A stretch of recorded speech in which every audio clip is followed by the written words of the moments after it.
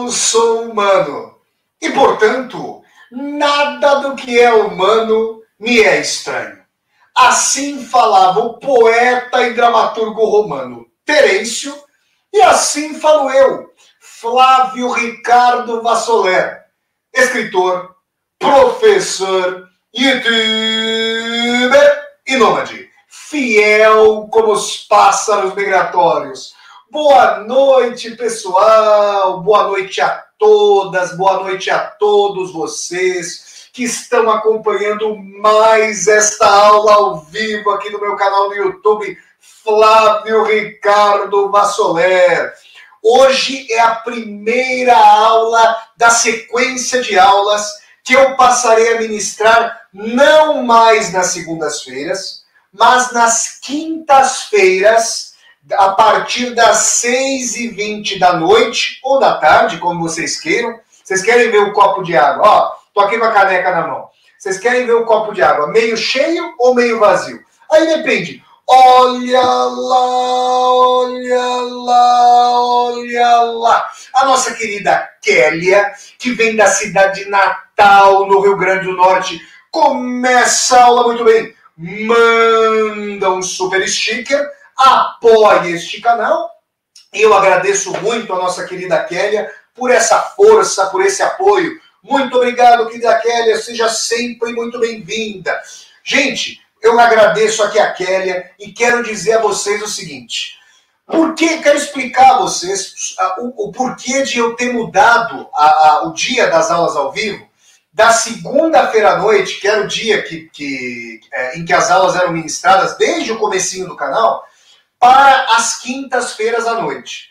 Uh, eu estou deixando uma parte da semana para poder fazer as viagens de Vassoler.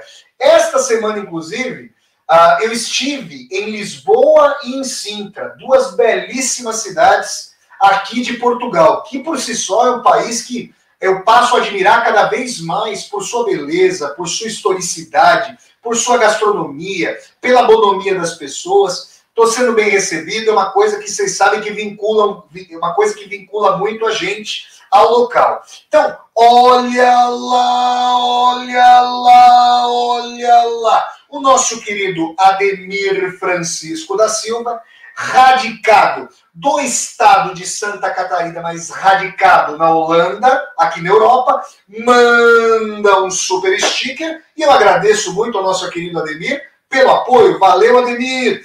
Olha, ô, gente, então eu vou falar uma coisa que vale Ademir já já, vocês vão ver o que eu vou falar aqui. Que é o seguinte, eu desloquei a aula da, das segundas-feiras às 6h20 para as quintas-feiras às 6h20 da noite ou da tarde, como vocês queiram, horário de Brasília, para eu poder deixar o resto da semana para desenvolver, quando eu viajar, as viagens de Massoler. Cada vez que eu viajo, eu faço uma série de vídeos para vocês. Lá, aqui no meu canal do YouTube, ó, lá no meu canal do YouTube, ó, aqui no meu canal do YouTube, vocês já viram vídeos de Braga. Já, nas viagens de Vassoler já houve quatro vídeos de Braga. Agora, esse domingo, vai começar uma sequência de vídeos na cidade do Porto, que é um diamante de Portugal. Depois vai ter vídeos de Guimarães, cidade onde Portugal nasceu. E eu fiz vídeos de Lisboa e de Sintra. Então tem muita programação aí por vir. Aguardem Coimbra, Aveiro, Évora, que mais, gente? Tem Algarve e assim por diante. Agora, gente, e Ademir, isso tem a ver com você, meu amigo. O Ademir que é da Holanda, tá morando, que é brasileiro, mas que está na Holanda. Ontem, enquanto eu voltava de ônibus, lá de Lisboa, aqui para Braga, eu conversei com, com os motoristas, conversando com os motoristas, nossa, muito simpáticos, batendo um papo, já singraram a Europa, a Europa inteira de ônibus ali, né? Eles me disseram que está sendo possível já fazer a locomoção de ônibus entre países. Claro que aqui de Portugal para Holanda, de ônibus, Deus me perdoe, é muito longe. Mas eu vou me informar, porque de repente dá, já está podendo ser, ser feito o périto. Vamos ver isso. Agora eu fiquei sabendo que eu posso já me deslocar até a Espanha. Então aguardem nas viagens de Vassoler uma ida a Madrid, que não fica muito longe aqui de Braga, 600 quilômetros. Ô, gente, 600 quilômetros é possível encarar, é possível encarar essa distância aí é, de ônibus. Vamos combinar, né, gente? Para Barcelona, aqui de Braga, são mil quilômetros, aí é jogo duríssimo. Mas 600 quilômetros, com, com fé em Deus, vamos dizer assim, a gente encara, né? Então é isso, gente. Vamos dando like no vídeo, vamos curtindo esse vídeo. Vamos disseminar esse vídeo pelas redes sociais. Para quê? Para quê? Para quê? Para que nós possamos chegar cada vez mais e mais pessoas aqui nas viagens de viagens, ó, nas aulas ao vivo com o Vassoler, agora todas as quintas-feiras. Avisem o pessoal. Eu já avisei nas redes sociais, avisei na comunidade aqui do canal, que o dia da aula foi, foi alterado. De segunda-feira para quinta-feira. Avisem as pessoas, porque é novo horário fixo. A programação do canal agora é a seguinte: domingos, às 11 horas da manhã, viagens de Vassoler. Terças-feiras, às 8 horas da noite, todos os horários de Brasília. Resenhas de livros. Quinta-feira, às 6h20 da tarde ou da noite, horário de Brasília, aulas ao vivo com Soler. Sábados, às 10 horas da manhã, resenhas de filmes. E segundas, quartas e sextas, às 11 horas da manhã, leituras de Vassoler. Tá bom, gente? Então vamos lá, pessoal. Hoje o tema da aula é o seguinte: eu vou dar um recadinho, vou apresentar uns livros para vocês do, que são livros escritos pelo, pelo filho de um seguidor aqui do canal, aliás, um membro humanista do canal, o Sérgio Romero. Mas antes eu quero deixar para vocês o tema da aula de hoje. Léo, qual que é o tema da aula de hoje aí para você? Que, que, qual que é o tema aí? É, é, olha lá, olha lá, olha lá. O nosso querido Gustavo manda um super sticker. Estão gostando desse manda um super sticker?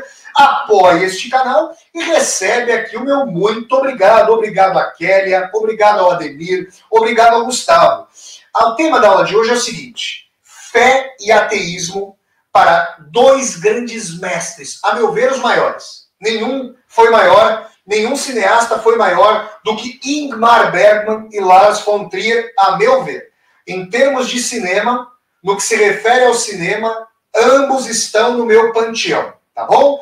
E outra coisa que vocês podem estar estranhando é o seguinte: pô, Flávio, ô Ricardo, ô Vassoler, qual é que é da. Você voltou para a webcam, você saiu da câmera Nutella e foi para a câmera raiz, porque tem esse negócio também, né, gente? O pessoal já está dizendo que o, o Vassoler está Nutella, está na câmera Nutella e na câmera raiz. Não é isso, gente. Eu voltei ontem de viagem. Gente, olha, fazer as viagens de Vassoler é um sonho que eu estou realizando, mas é uma trabalheira, porque você faz os vídeos, refaz os vídeos.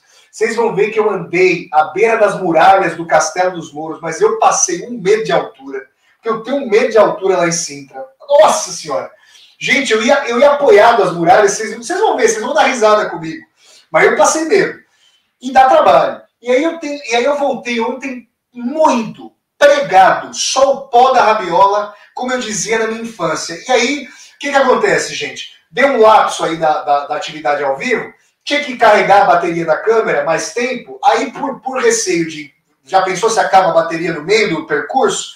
Usei a boa e velha webcam que está aí conosco, a câmera raiz não Nutella, e estamos juntos, tá bom, gente? Então vamos lá, pessoal, deixa eu mostrar a vocês aqui agora Deixa eu mostrar a vocês alguns livros do, do, dos filhos do nosso querido Sérgio Romero. Aliás, Sérgio, se você estiver assistindo a, a, a, aula ao vivo, o Sérgio estava agora há pouco aqui.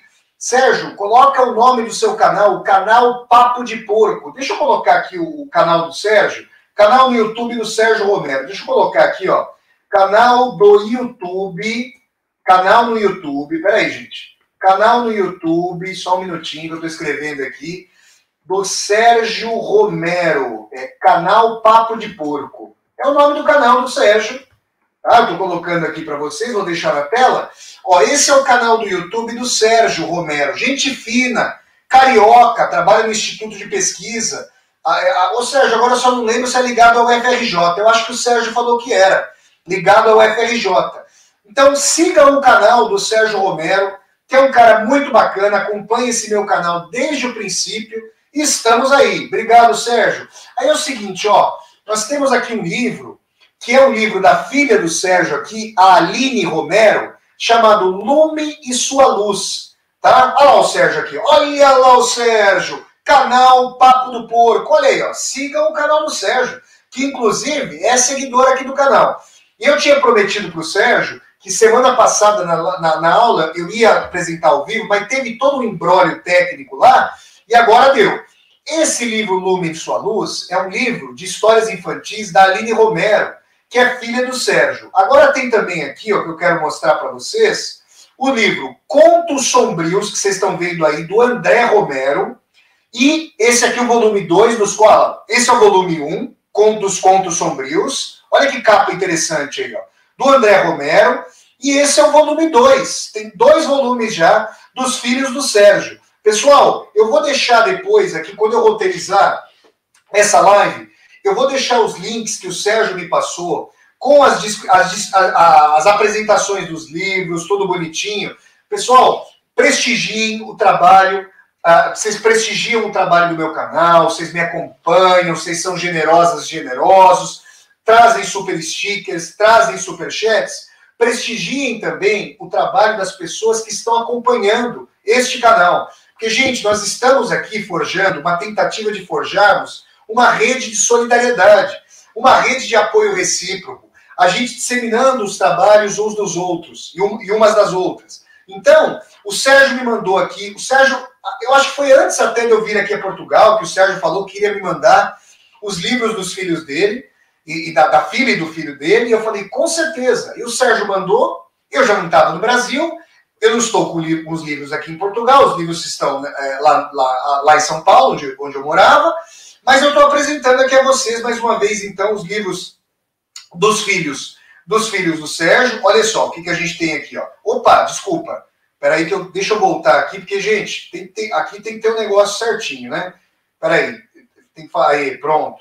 Agora eu posso voltar aqui, ó. Porque são os, os truques mandrakes aqui, gente. Tem que ter a, a trucaiada aqui para fazer o negócio direitinho, para ajeitar tudo bonitinho. Agora pode voltar. Olha, ó.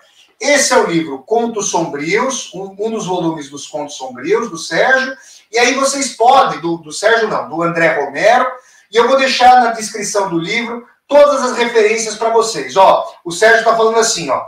O Lume é infantil sobre identidade de gênero e respeito às diferenças. Vocês veem, gente, que a filha do Sérgio se preocupou com um tema fundamental, que é o tema tão achincalhado nesse Brasil neofascista, não o Brasil como um todo, mas certamente quem apoia, ainda apoia, que é uma coisa impressionante de se ver, o atual desgoverno federal, nós sabemos que ah, muito do desrespeito às identidades de gênero, às questões aí é, de, dizendo respeito às diferenças, muito ah, desse, dessa temática tão fundamental é achincalhada pelo atual desgoverno federal. Então, gente, quero agradecer ao meu querido Sérgio Romero. Vou deixar todas as referências para os livros do, do, do filho do Sérgio, do, dos filhos do, do Sérgio aqui. Olá, Sérgio. Conversa com a Chayane, olha o que a Chayane está dizendo aqui, ó.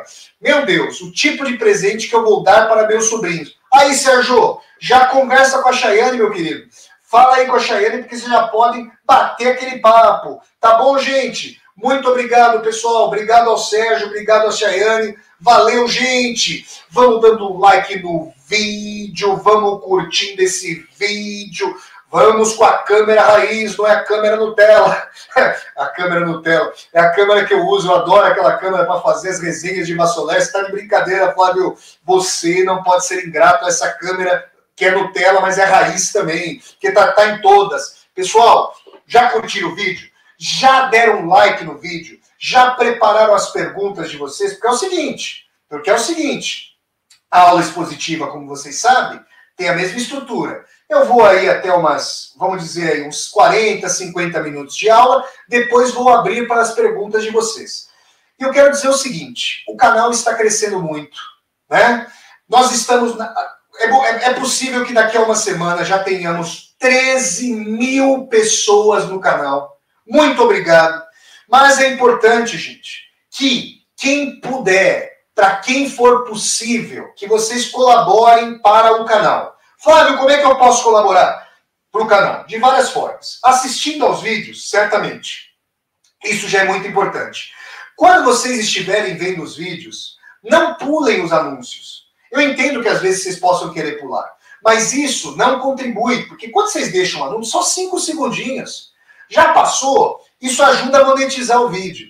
E, gente, quanto mais o canal crescer, mais eu vou poder me dedicar exclusivamente ao canal. Exclusivamente. Eu ainda tenho trabalhos paralelos ao canal do YouTube. Mas o projeto é que no futuro eu possa me tornar um youtuber em tempo integral. Então, quanto mais o canal crescer, mais isso é possível. Dar um like no vídeo ajuda muito, ajuda muito mesmo. É, trazer comentários para o canal. Agora, se você puder contribuir financeiramente para o canal, você pode fazer o seguinte: se você estiver agora no YouTube, aliás, no YouTube você está, né? Eu, Flávio, no YouTube, no YouTube a gente está. Se você. É porque tem o Facebook. Aliás, você que está no Facebook e no Instagram, venha para onde está o sabor. Venha para o mundo no canal do YouTube de Flávio Ricardo Massolé. Se você estiver assistindo a, a aula ao vivo do YouTube, justamente, embaixo do chat, se você estiver no computador, o chat vai estar à sua direita. Se você estiver no celular, o chat vai estar embaixo. Olha lá, olha lá, olha lá o nosso querido Sérgio Romero manda um super sticker. Eu agradeço ao, ao, ao, Sérgio Romero, que mora na cidade de São Sebastião, do Rio de Janeiro, e tem aí os livros do, os livros, ah, os livros dos filhos dele que eu mencionei, tá bom, gente? Muito obrigado, muito obrigado, pessoal. Valeu, Sérgio. Aí é o seguinte, embaixo aqui do chat tem um retângulozinho com um cifrão, tá? Se você clicar nesse retângulozinho com um cifrão, vão se abrir três abas, três abas. A primeira aba vai ser a aba do Super Sticker, que é uma saudação paga, como essa aqui do Sérgio, como a do Ademir, que mandou, do Chicão, que mandou agora há pouco. Você clica ali, escolhe um valor, você escolhe, você. Gente, você escolhe a música da Jukebox, DJ Bassolera, as sete melhores. Embaixo do Super Sticker tem uma outra aba chamada é, é, Super Chat. O Superchat, gente, é uma aba para vocês mandarem perguntas pagas para o canal. Então você manda uma pergunta paga para o canal e você, quando mandar um Superchat, a qualquer momento que você mandar, eu paro a aula e respondo a sua pergunta do Superchat. E a terceira aba é a aba do Super, é do Seja Membro. E os membros e as membros humanistas, já temos dezenas e dezenas de membros humanistas. Muito obrigado a vocês que estão apoiando o canal dão uma contribuição mensal, escolhendo a faixa de membros. Vocês podem ser humanistas de Sócrates, humanistas da Fiel, humanistas, é, é, como é que era? Humanistas de Dostoiévski e humanistas de vanguarda. Cada, cada faixa tem um determinado valor. Você torna, você se torna membro ou deixa de ser membro conforme quiser, gente. É tudo na tranquilidade. Vamos lá co colaborar para o canal? Então é isso, gente. Vamos lá. Recados dados, muito obrigado a vocês. Vamos começar a nossa aula com o seguinte tema: Fé e ateísmo para Ingmar Bergman e Lars von Trier. Gente, Flávio, mas espera lá. Você já resenhou dois filmes de Ingmar Bergman aqui no seu canal. Você já fez resenhas de O Sétimo Selo e já fez é, é, resenha do do Persona. Nossa, obras-primas do Bergman. Meu Deus do céu.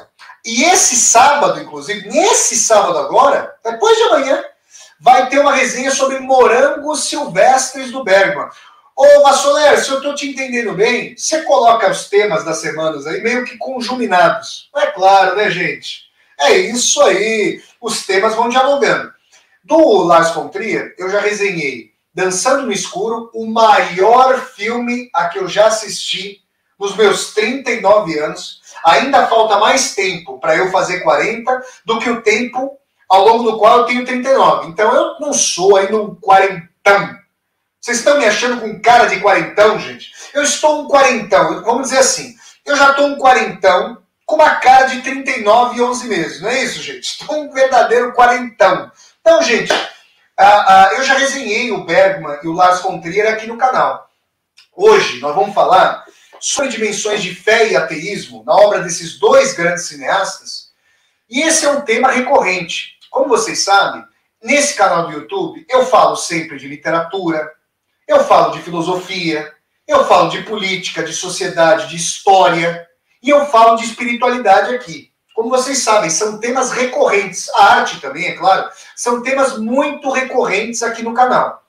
E hoje nós vamos trazer essas perspectivas é, em meio às obras de Bergman e Lars von Trier, dois cineastas escandinavos. O Bergman é um cineasta sueco, foi, né, o cineasta sueco. E o Lars morreu em 2007. Eu lembro até hoje do dia em que o Bergman morreu, em 2007. Eu tinha trabalhado o dia todo, é, cheguei, cheguei da minha aula cansado, dava aula de inglês na época, aulas particulares de inglês, trabalhei muito tempo com, com aulas particulares da, da, de línguas estrangeiras, gente, e cheguei em casa, tava, tava cansado aquele dia, tinha trabalhado bastante, aí chega lá no jornal, puta, Ingmar Bergman morreu, eu falei, puta vida, viu? Esse é o pior arremate de dia, lembro, foi um dia de semana, o pior arremate de dia que eu poderia ter. E o Lars von Trier tá aí, né? E a, o Lars von Trier é dinamarquês. Na obra de ambos, é, os cineastas, gente, fé, Deus e o nada são dimensões fundamentais. Eu vou comentar com vocês de maneira panorâmica, mas extraindo exemplos fundamentais da obra desses autores, e vocês podem engatilhar várias perguntas aí, seja por superchat, seja depois no momento que eu abrir para as perguntas. Só não se esqueçam, é, assim, quem quiser esperar o momento de eu abrir para as perguntas, por favor, não, não se esqueça de fazer as perguntas em caixa alta, para eu saber que vocês estão se remetendo a mim, tá bom? Então vamos lá, gente. Uh, fé e ateísmo em Bergman e Lars von Trier. Bergman e Lars von Trier são dois cineastas atormentados. E é, eu sou uma pessoa atormentada por essas questões. É, eu considero, e eu, eu já disse isso várias vezes aqui no canal, vou repetir para começar essa aula.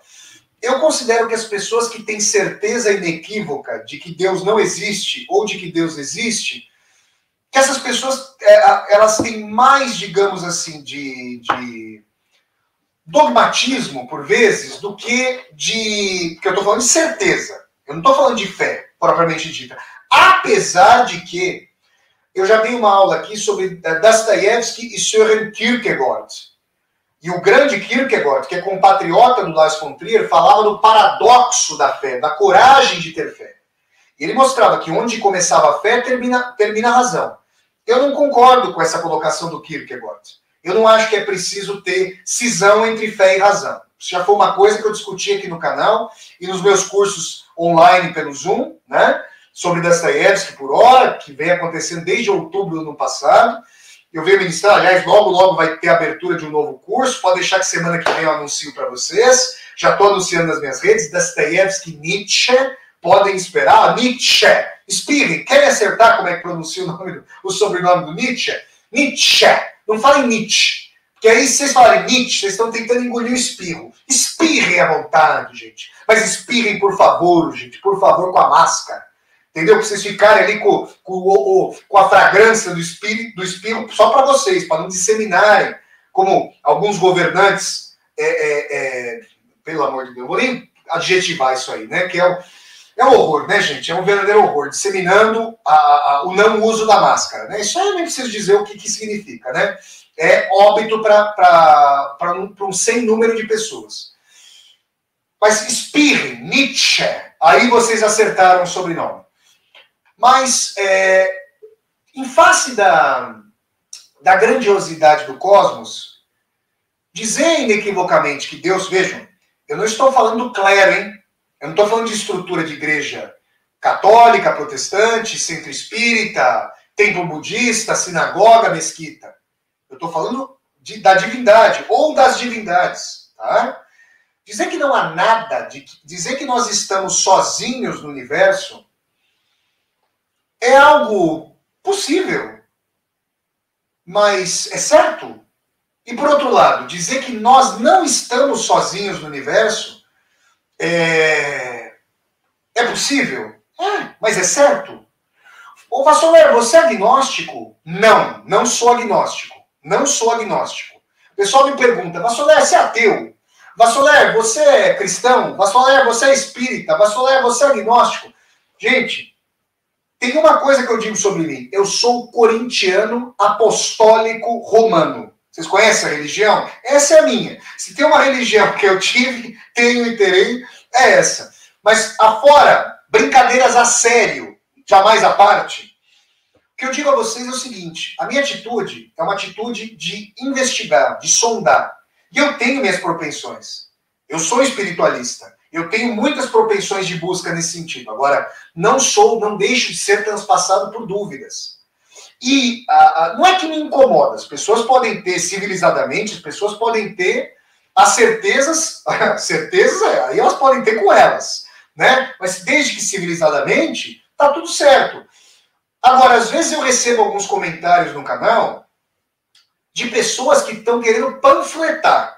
E esse canal é um canal aberto para a democracia. A pessoa quer panfletar, se for civilizadamente, está tudo certo. Agora, gente, vocês já repararam numa coisa?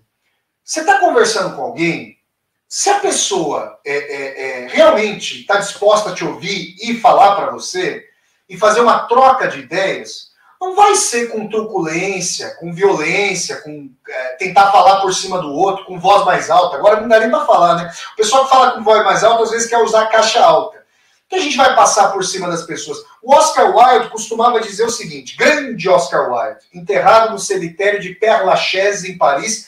Quando as viagens de Vassoler forem a Paris, eu visitarei o túmulo de Oscar Wilde, de Marcel Proust, de Allan Kardec, de Honoré de Balzac, todo mundo enterrado, Jim Morrison, até o Jim Morrison está enterrado lá no Père Lachaise, em Paris, que é um cemitério famoso. Tem até um muro lá do Père Lachaise, desse cemitério, dedicado aos membros da Comuna de Paris que foram trucidados pelas tropas burguesas ali em 1881, tá bom?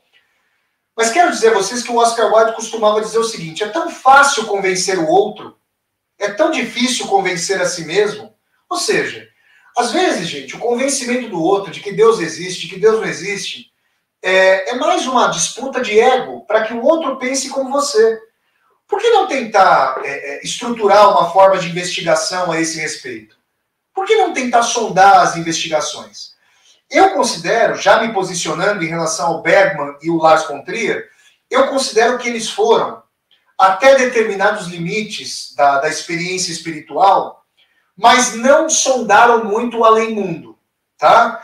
Dostoiévski fez isso, Gabriel Garcia Marques fez isso, Jorge Castanheda fez isso. Estou citando três autores aqui para vocês. Isso para não citar o cineasta Alejandro González Iñárritu, grande cineasta mexicano, que, salvo engano, está radicado agora nos Estados Unidos, né? que fez o filme 21 gramas, já resenhado aqui no canal. E aí eu sempre aviso, né? Deixem aqui embaixo o, o ah, deixa aqui embaixo, ó. Aqui embaixo eu vou deixar as referências para todas as citações que eu for fazendo. Tá? Vai estar tudo roteirizado. Então não se preocupem em ficar anotando. Tem que vão acompanhando aqui a, a, a cadeia de raciocínio. Olha lá, olha lá, olha lá. O Ademir, querido Ademir, que está na Holanda, manda um super, um super chat e eu vou responder a colocação do Ademir. Valeu, Ademir. Obrigado pelo apoio, meu amigo. Vamos lá. Ricardo, existe um Deus, existe um unicórnio no lado oculto da lua que realiza todos os seus desejos. São semanticamente válidos. Por que você tem fé em uma e não na outra? Olha, a pergunta do Ademir é importante. Por quê? Porque o Ademir está dizendo que existir Deus e existir um unicórnio, que o unicórnio a gente sabe que não existe, pelo menos não tem nenhuma prova, e aliás, não tem nenhuma prova cabal, conclusiva, ah, em relação à, à, existência de Deus também. O Ademir está dizendo, por que se tem prova em uma e não na outra? É uma pergunta importante, pode ser a dúvida de muitas pessoas ou pode ser inquietação. Ademir, quando todas, praticamente todas as civilizações que já houve nesta Terra desenvolveram, muitas vezes sem contato umas com as outras, dimensões de sobrenatural, dimensões de espiritualidade, isso talvez possa dizer para um espiritualista que a ideia de Deus é universal. Por outro lado, um materialista diria que a, a incapacidade cognitiva, técnica, é, é, de domínio da natureza por parte de povos antigos, cognitiva não no sentido de que fossem inferiores aos povos modernos, mas o domínio da técnica. Olha lá, olha lá, olha lá. A nossa querida Alice Rainer, filha da também querida Elvira, que tem um apelido. Elvira, fiquei sabendo que você tem o um apelido de Elviroca, um apelido carinhoso. Mando um grande abraço para Alice Rainer com Jogue Suas Tranças de Mel, Rapunzel, Rapunzel, gostaram aqui do meu trio elétrico? Porque Alice Rainer tem o cabelo das tranças de mel aqui. E manda um abraço para Alice, que sempre apoia esse canal. Para Elvira, que também sempre apoia o canal e faz todos os cursos. A Elvira faz todos os cursos que eu ministro. Muito obrigado. Muito obrigado, Alice. Olha só. O materialista poderia dizer que ah, se trata de, da alienação da concepção é, de falta de potência da, daquelas sociedades antigas, transferindo isso para deuses. É possível. Agora, é interessante pensar o seguinte: fenômenos ditos paranormais não existem? Bom, as pessoas que, que relatam esses fenômenos são charlatãs. Ingmar Bergman, por exemplo, na sua autobiografia Lanterna Mágica, Ademir e todas e todos vocês, já que estamos falando aqui de Bergman e Lars von Trier. Claro, também estou respondendo a pergunta do Ademir. Disse que via coisas. Bergman tinha alucinações visuais, como poderia dizer um ramo ateu da psiquiatria. Nem todos os psiquiatras é, é, são ateus ou foram ateus. Meu pai era psiquiatra, que não era, é, era psiquiatra e, era, é, e não era ateu. Então, o que eu estou dizendo para vocês é o seguinte: é, se vocês forem assistir ao programa Pinga Fogo, do Chico Xavier, né, que era um espiritualista brasileiro, ele sim, espírita, né? O Chico Xavier é, estudou muito pouco, escreveu trocentos livros, nunca ganhou um centavo com eles, diga-se de passagem, e ele dizia receber contatos de espíritos. Uh, isso é real? O que que, Ademir, o que que eu te diria? O que que uma ciência é, é agnóstica, porque ciência militante é religiosa. Se um cientista tem certeza, ele não está percorrendo o método científico. O método científico está pautado na dúvida. Né? Quando a ciência se rebela contra a religião, e é o caso, a, a, em enorme medida, a gente tem que entender a história do que a religião fez com a ciência. Né? Agora, eu estou falando de espiritualidade. Se uma pessoa, uma mãe e um pai dizem que o Chico Xavier escreveu uma carta, psicografou, né, uma carta, em que ele revela uma informação que só o pai e a mãe sabiam e não havia possibilidade, até porque não havia internet ali na época, de ele ter acesso a isso, qual hipótese a gente formula? Várias.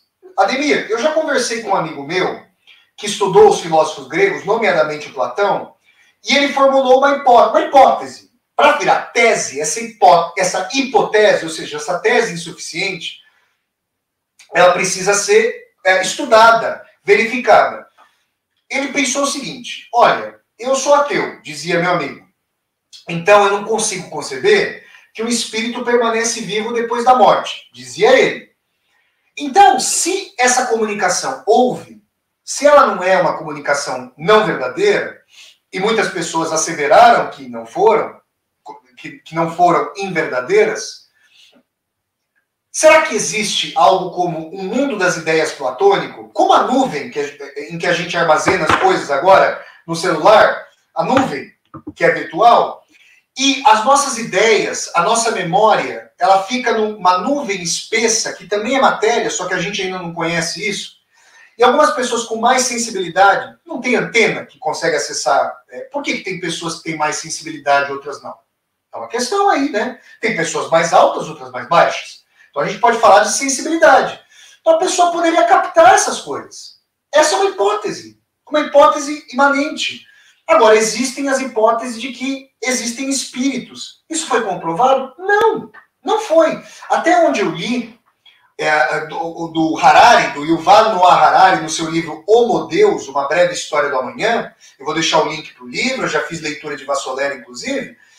Até o presente momento, a, a, os campos da ciência esquadrinharam todos os quadrantes do corpo, não encontraram vestígios do que os, as várias diversas, as, as diversas, os diversos povos chamaram de espírito, alma, como vocês queiram. Isso significa que não há? Não sei. Então, é, é, é, o, é, o, primeiro ponto. Segundo ponto, Ademir, que é muito importante, é o seguinte: qual é o seu unicórnio? Porque é, eu conversei uma vez com meu querido amigo Edward. Aliás, a Eni estava aí, ó. Se a Eni tiver aí, um grande abraço para minha amiga Eni. A Eni e o Edward são casados.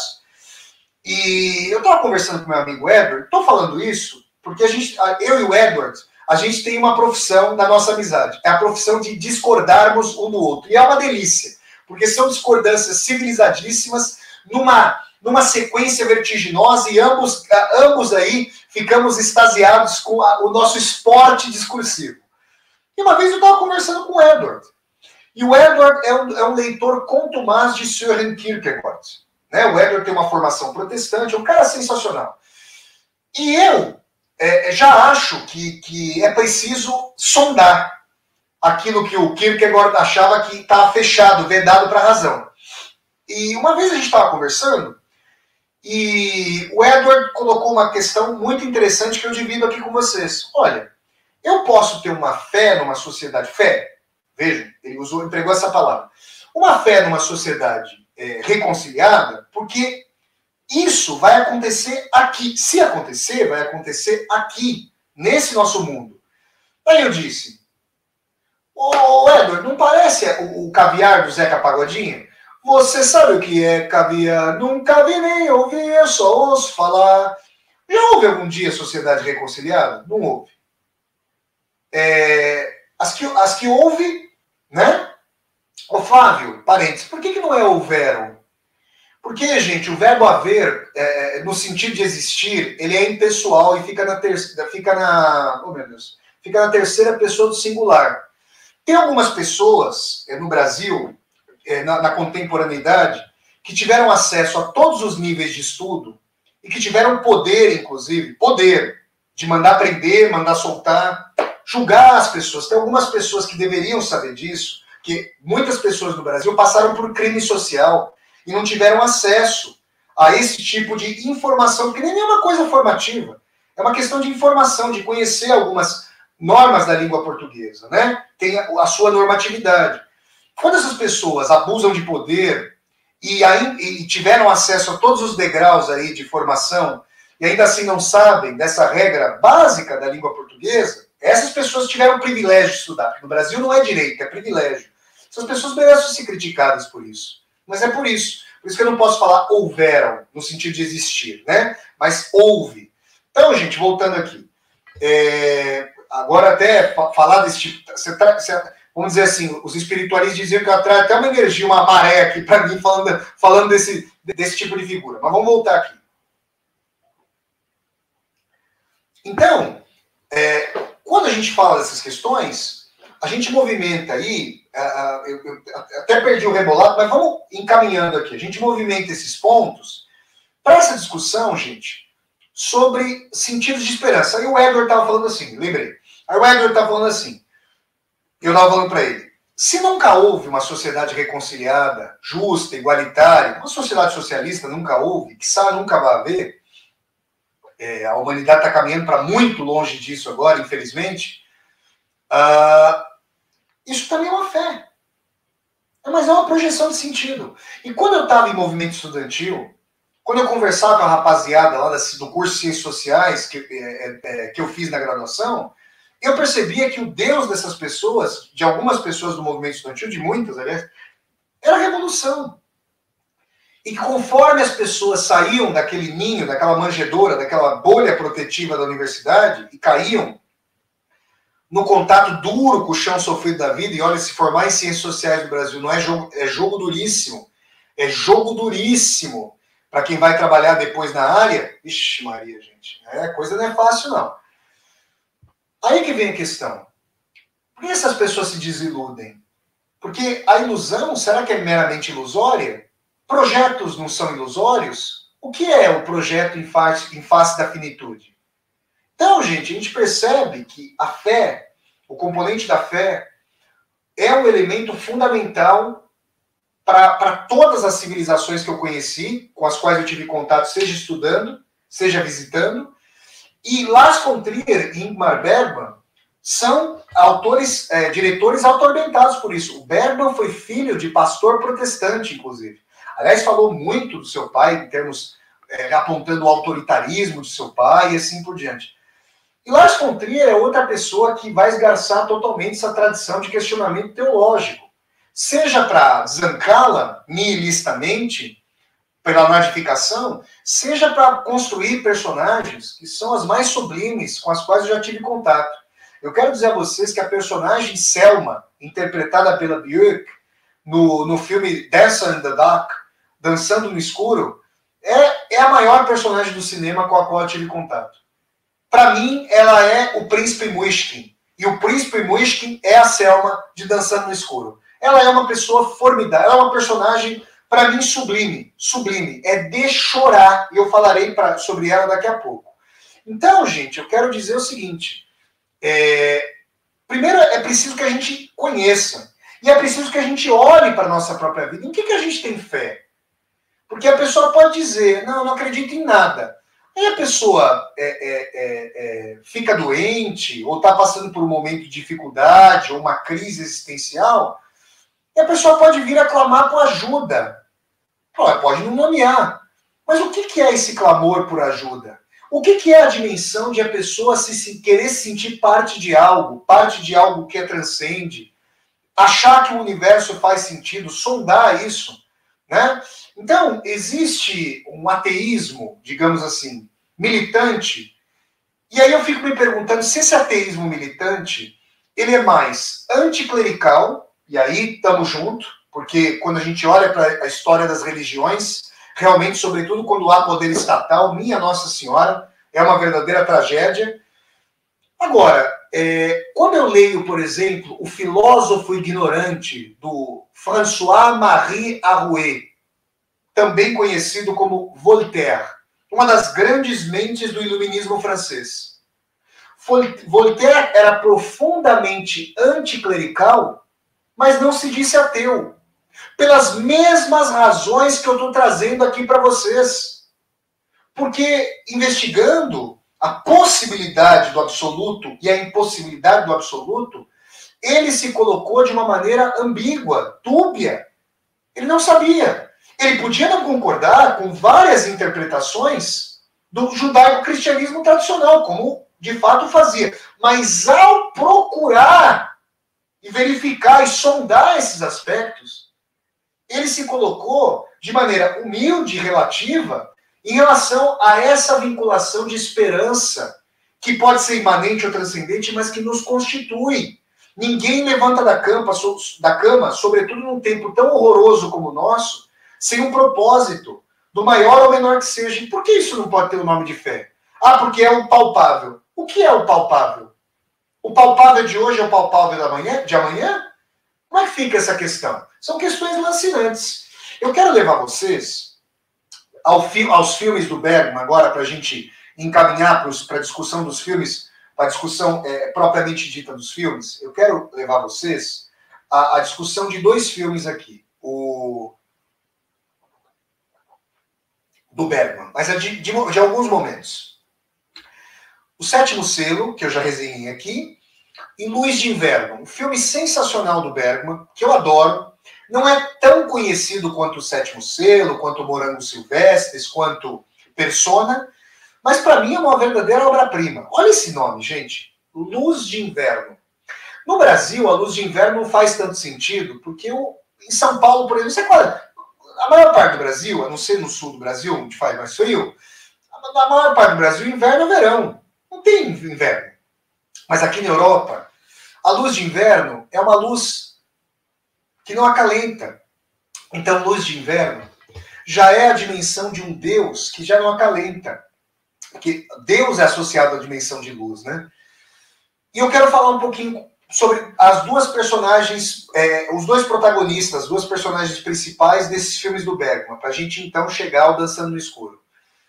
Eu quero dizer a vocês que o, pas, o pastor, ó, pastor no Luz de Inverno, que o cavaleiro medieval Antonius Bloch, é, eternizado, não vou nem dizer interpretado, seria um sacrilégio falar interpretado, que ele foi eternizado pelo Max von Sydow, o, o ator sueco, que é, que é alto pra caramba, eu fiquei sabendo disso.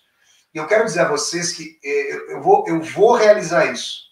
Eu vou dividir isso com vocês. Podem cobrar isso de mim. Eu vou comprar uma capa, vou vestir a capa da morte, vou pintar o meu rosto com aquele, com aquele branco pálido e vou até a praia da Suécia, onde foi encenada a primeira cena com personagens de O Sétimo Selo. Aí abrirei a minha capa e, e, e tirei uma foto para colocar numa, num dos locais do vídeo, aqui do meu canal do YouTube. Podem cobrar isso de mim. O cavaleiro Antônio Bloch é alguém que está perguntando por Deus. Ele foi, ele participou de, de cruzadas, se desencantou completamente, percebeu que as cruzadas eram um banho de sangue, uma guerra, é, é, é, é digamos, indigna, espúria, uh, dogmática, de fé contra fé, não encontrou a espiritualidade que achava que ia encontrar nas cruzadas. Mas ele continua a clamar para tentar auscultar uma, isso que é uma imagem muito forte em Bar Bergman, o silêncio de Deus. Quem está acostumado a ver, acostumado e acostumada a ver os filmes do Bergman, sabe que o Bergman focaliza o céu. Eu adoro olhar para o céu. Quem já viu as viagens de Vassoler sabe que muitas vezes eu aponto a minha câmera lá para o céu. E aqui em Portugal, às vezes, o céu é desenhado e pontuado por nuvens de forma maravilhosa. Né? E só que esse céu do Bergman é um céu muitas vezes sem nuvens. Mesmo podendo ser bonito, porque muitas vezes tem filme em preto e branco, aí é mais du é duro, né, da gente sentir aquele azul anil do céu bonito. Mesmo assim, a gente fica com essa imagem de uma abóboda vazia, abandonada, nadificada, em silêncio. E a gente fica perguntando onde é que Deus está. E essa é a pergunta recorrente do cavaleiro Antônio Bloch. O Antônio Bloch tem um fiel escudeiro chamado Jöns. E esse fiel escudeiro é mundano, é, é, é radicado no mundo. E sempre que o Antônio Bloch faz as suas perguntas, é, é, buscando Deus, o cavaleiro lhe responde: Não há. Olhe para a terra, deixe de voltar os seus olhos para os céus. E é interessante que o cavaleiro, ele entra na igreja e ele vai olhando para os desenhos eclesiásticos que há nas paredes das igrejas. E quem já esteve na Rússia, bom, nem preciso dizer a, a, a ligação umbilical que eu tenho com a Rússia, já morei, inclusive, na Rússia. Aliás, não vejo a hora de voltar para a Rússia. Deixa eu contar uma coisa para vocês, porque parece que aqui na Europa agora não vai ser possível tomar a Sputnik 5. Preciso dizer é, quem fez pressão na União Europeia para isso acontecer? Não. Preciso dizer quem está do outro lado do Atlântico e está fazendo uma mobilização aí, uma guerra de vacinas? Porque no Brasil houve lobby dos Estados Unidos para a Sputnik 5 não ser aprovada. E eu acho que tá, não estou afirmando isso, estou especulando com vocês que houve essa questão. Então, gente, que eu posso te, o que eu posso dizer é que eu estou louco de vontade de voltar para a Rússia, de, de, de, visitar a minha querida Raciska e a Federação. Mas vejam, é, quando, eu, quando você entra numa igreja ortodoxa russa, as paredes estão todas desenhadas com os temas dos, dos evangelhos. Porque as pessoas não sabiam ler, gente. Como é que você ia, como é que você ia falar para a pessoa ler a Bíblia? aqueles governos usurpadores não davam educação para a população mais, mais pobre. Então a pessoa ficava ali, ela via como se fosse um desenho animado as histórias dos evangelhos.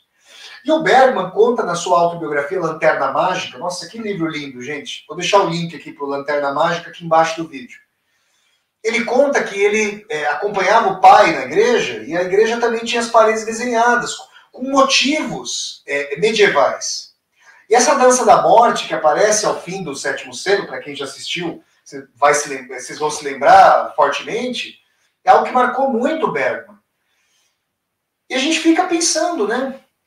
E as personagens dimensionam isso. Qual o propósito disso aqui? Não tem propósito algum.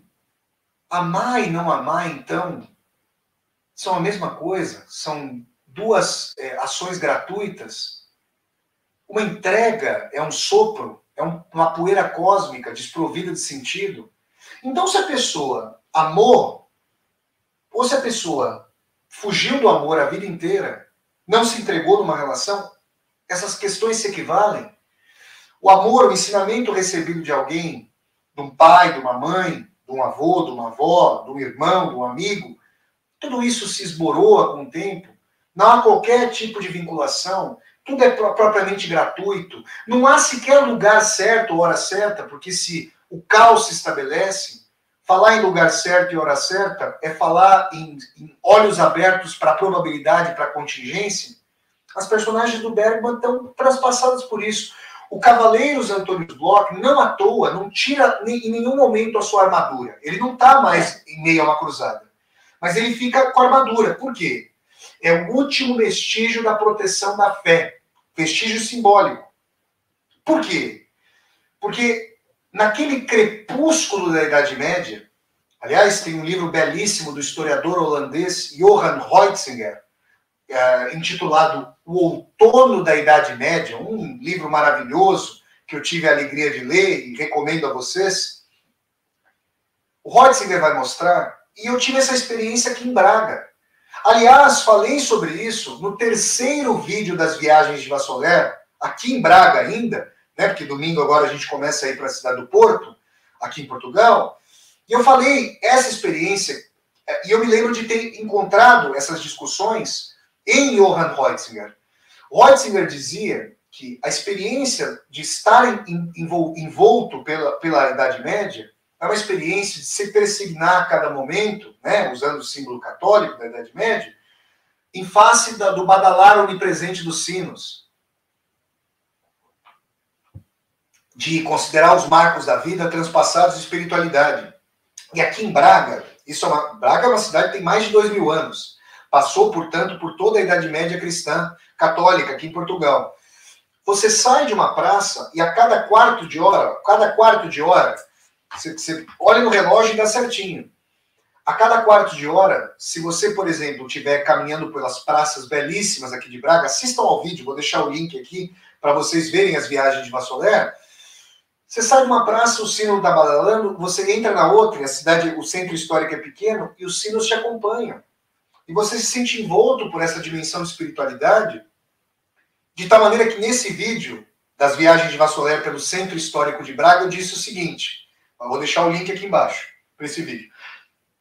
Eu disse o seguinte, a pergunta por quem os sinos dobram é uma pergunta da modernidade, que está exilando Deus do universo.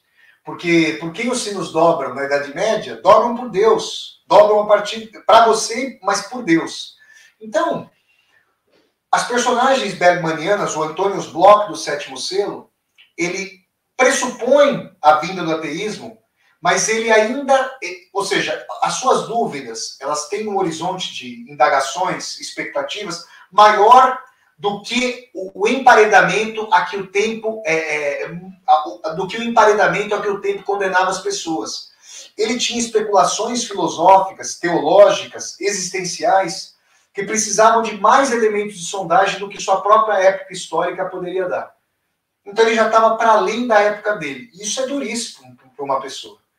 Porque a pessoa que não cabe em sua própria época pode, de fato, enlouquecer. Ela não consegue, ela não consegue achar, se achar parte de um todo. Em, em, em Luz de Inverno, que é o outro filme maravilhoso do Bergman, a gente tem Alguém como o cavaleiro Antônio Bloch, levado às últimas consequências, mas já com uma fé esvaziada de sentido. A gente tem um pastor protestante, e esse pastor, lá no filme do Bergman, tá, gente? Ele professa toda a ritualística. Vocês sabem que os pastores protestantes podem se casar, diferentemente dos padres da Igreja Católica. Ele professa toda a ritualística religiosa, mas ele já não acredita em mais nada. E, aliás, a câmera do Bergman, ela focaliza de baixo para cima imagens de Jesus Cristo no filme é, Luz de Inverno. Gente, eu assisti a esse filme, sei lá, 37 vezes. Eu gosto muito. E, e como essas questões me atormentam muito, sou, é, elas são muito importantes para mim, eu vou atrás sempre dessas elucubrações. E quando a câmera do Bergman focaliza a imagem de Cristo, é como se nós sentíssemos a textura não da figura de Cristo, mas da madeira que o compõe, que compõe a figura e que está rota. E aí nós temos na na apreensão, na captura fílmica, cinematográfica, imagética, uma síntese dessa decrepitude da fé, Daí a luz de inverno, a luz que não acalenta, a luz que não ilumina, a luz que não incendeia, que não traz sentido. Um pastor que professa a sua fé, no caso do filme do Bergman, sem acreditar em Deus, é alguém que é, vive maquinalmente, que vive desprovido de sua alma. No caso, ninguém escolheu ser pastor ali, vai escolher aleatoriamente. Tem uma profissão de fé, né? se diz que há uma profissão de fé. Então, em Bergman, nós sentimos, em Ingmar Bergman, no cinema de Ingmar Bergman, nós sentimos essa dimensão de um exílio de Deus, que é uma questão fundamental, que eu vou chamar de ruptura da abóboda celestial. Os antigos, já dizia Guillaume Lucotti, Lucotti, como vocês quiseram, o Jorge Lucas, o Georg Lukács, na sua teoria do romance, os antigos, a antiguidade, tinha nos deuses os portadores da boa nova, os dotadores de sentido para a vida. A cartografia da nossa vida estava escrita nas estrelas. As estrelas, aliás, não só o, o, se interpretava a cartografia geográfica, o horizonte, pela, pela referencialização das estrelas, como também se dizia que era possível interpretar oráculos, adivinhos, por meio delas. Isso é antiquíssimo. Bom, aí eu estou falando da ancestralidade dos horóscopos, da astrologia e assim por diante. Remontando ali aos egípcios, uma coisa impressionante.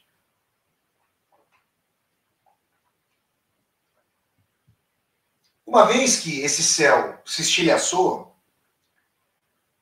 para onde foram os fragmentos? Para onde foram os estilhaços? Para onde foram essas orientações?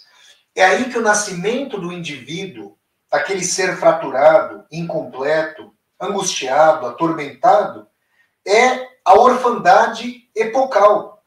As personagens de Bergman são órfãos modernas do exílio de Deus. E em Lars von Trier, em Dançando no Escuro, aliás, isso é levado às últimas consequências. E eu me pergunto justamente isso. Quem assistiu ao filme Dançando no Escuro de Lars von Trier sabe que Lars von Trier é um herdeiro direto de Ingmar Bergman. Aliás, esse cinema escandinavo do Karl Dreyer, que ainda vai estar no meu canal, né? Eu já fiz a resenha de Thomas Winterberg. Aliás, deixa eu fazer um parênteses aqui. Isso é um sinal dos tempos. O filme A Caça, do Thomas Winterberg, que eu já resenhei aqui no canal, vou deixar o link para a resenha aqui embaixo para vocês. Aliás, quem acessar esses links é, que eu deixo aqui embaixo, roteirizados, inclusive ajuda o canal, porque são links aí para a página que eu estabeleço lá na, na, na no, no, em acordo com uma página de divulgação de livros e filmes. O filme A Caça, ele não está discutindo se a personagem do Mix Mikkelsen, o ator lá dinamarquês, ele não está discutindo só se o cara cometeu o horror de ter violado uma menininha. Isso é um horror completo, pelo amor de Deus, né? Devemos condenar de A a Z qualquer, qualquer violação a crianças, pedofilia, pelo amor de Deus. Essa é uma questão do filme A Caça de Thomas Winterberg. Mas a discussão sobre a natureza do mal é o ponto. E muitas pessoas querem fazer uma discussão lá nos comentários da resenha, tudo bem, o espaço é livre e democrático. Para falar se houve ou não houve o crime, mas a discussão essencial sobre o sentido ou a falta de sentido da amizade, da vida, da bondade, da maldade daquela cidade que colocou o professor em ostracismo, essa passa ao largo. Agora, quando uma pessoa ver um ente querido atormentado por uma doença, por uma tragédia, se perguntando pelo sentido da vida, dizendo se o laço é contingente, quebradiço ou duradouro, a pessoa está tocando nas raias mais profundas da vida. Quando alguém sofre um acidente, quando alguém sofre um deslize, quando alguém vê que a vida não tem mais descontinuidade, a pessoa não pergunta por quê. A vida apresenta para a pessoa a caveira de Hamlet e fala: Por quê? Você não vai me, você não vai me sondar? E a, a nossa época, é, o Nietzsche, que era ateu, dizia que as perguntas da metafísica, profundíssimas, eram profundas sem ter é, é, é, escava, escavação possível. Porque elas buscavam uma profundidade que a ciência aplainaria.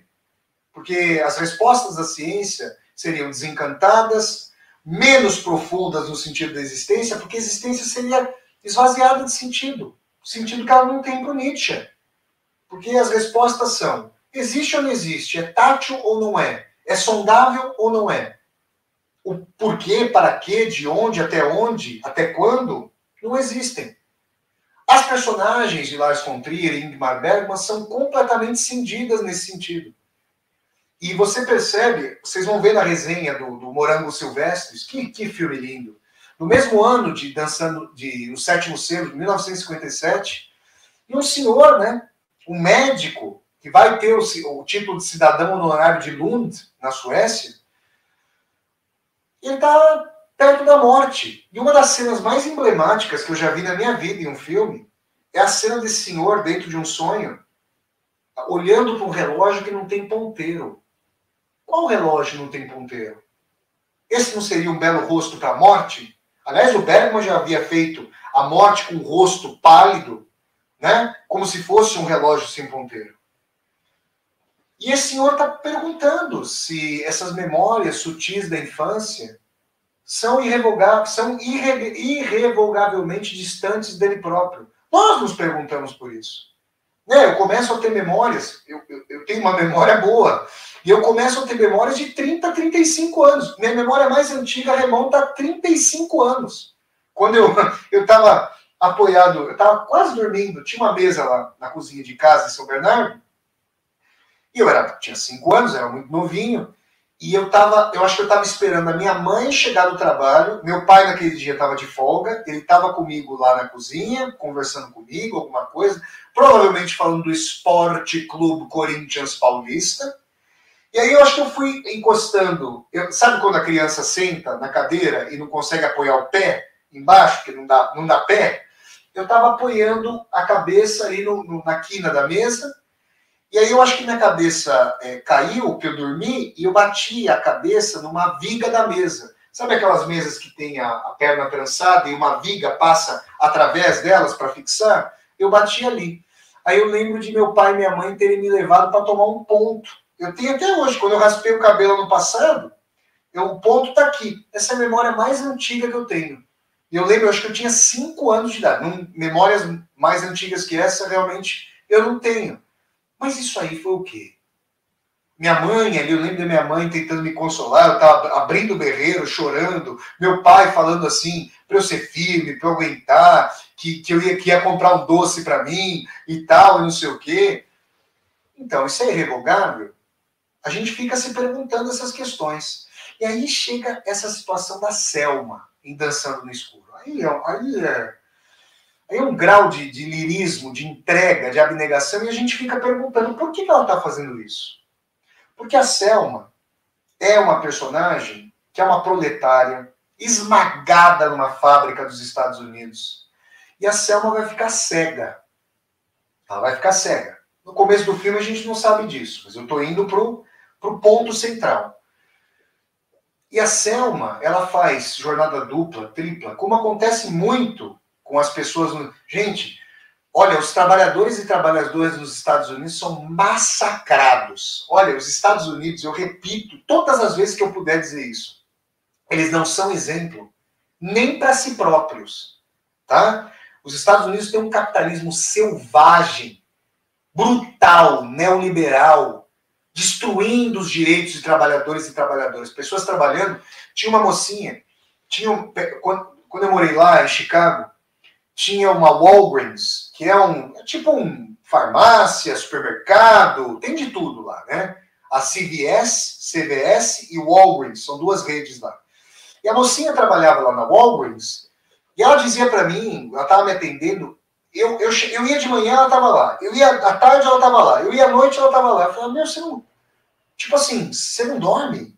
Ela falou: Meu, eu preciso pagar minha hipoteca, preciso pagar minhas contas, preciso pagar minha faculdade, preciso pagar, pagar, pagar, pagar, dívida, dívida, dívida, dívida.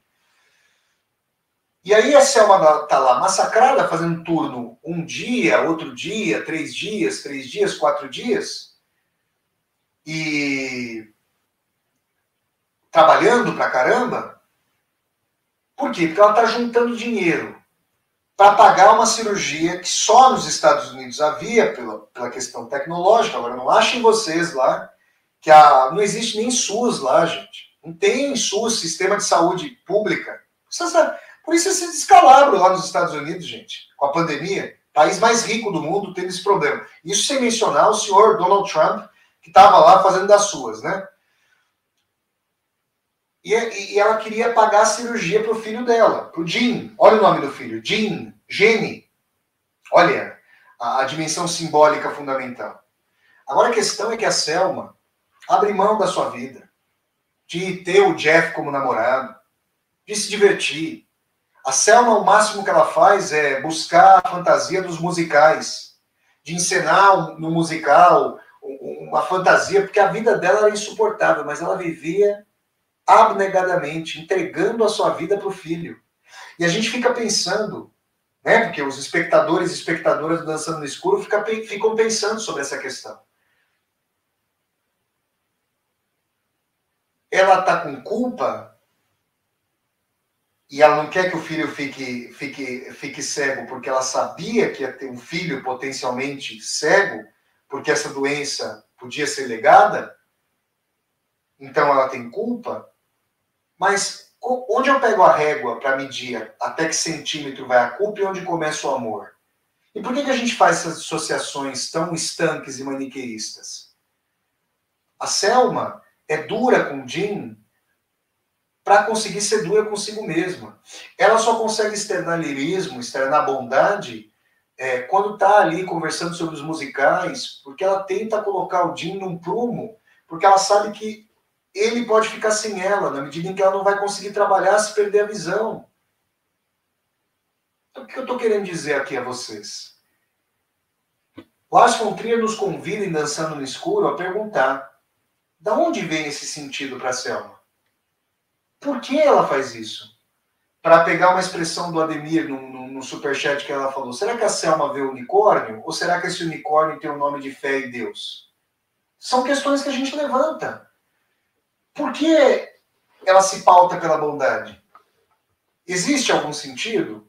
As personagens é, é, é de Bergman e Lars von Trier, que esturricaram o sentido da existência, se mataram, enlouqueceram, perderam o afã de viver. Existe uma. Existem, existem várias expressões ali do, do Bergman falando sobre o amor. O amor dentre as suas imperfeições, é o que há de mais perfeito nesse mundo imperfeito. Essa é uma colocação de O Sétimo Selo. E esse amor a gente encontra em Selma, no filme Dançando no Escuro, nessa entrega, nessa suma entrega em direção ao seu filho, na relação com o seu filho. E aí a questão fica, fica sendo posta.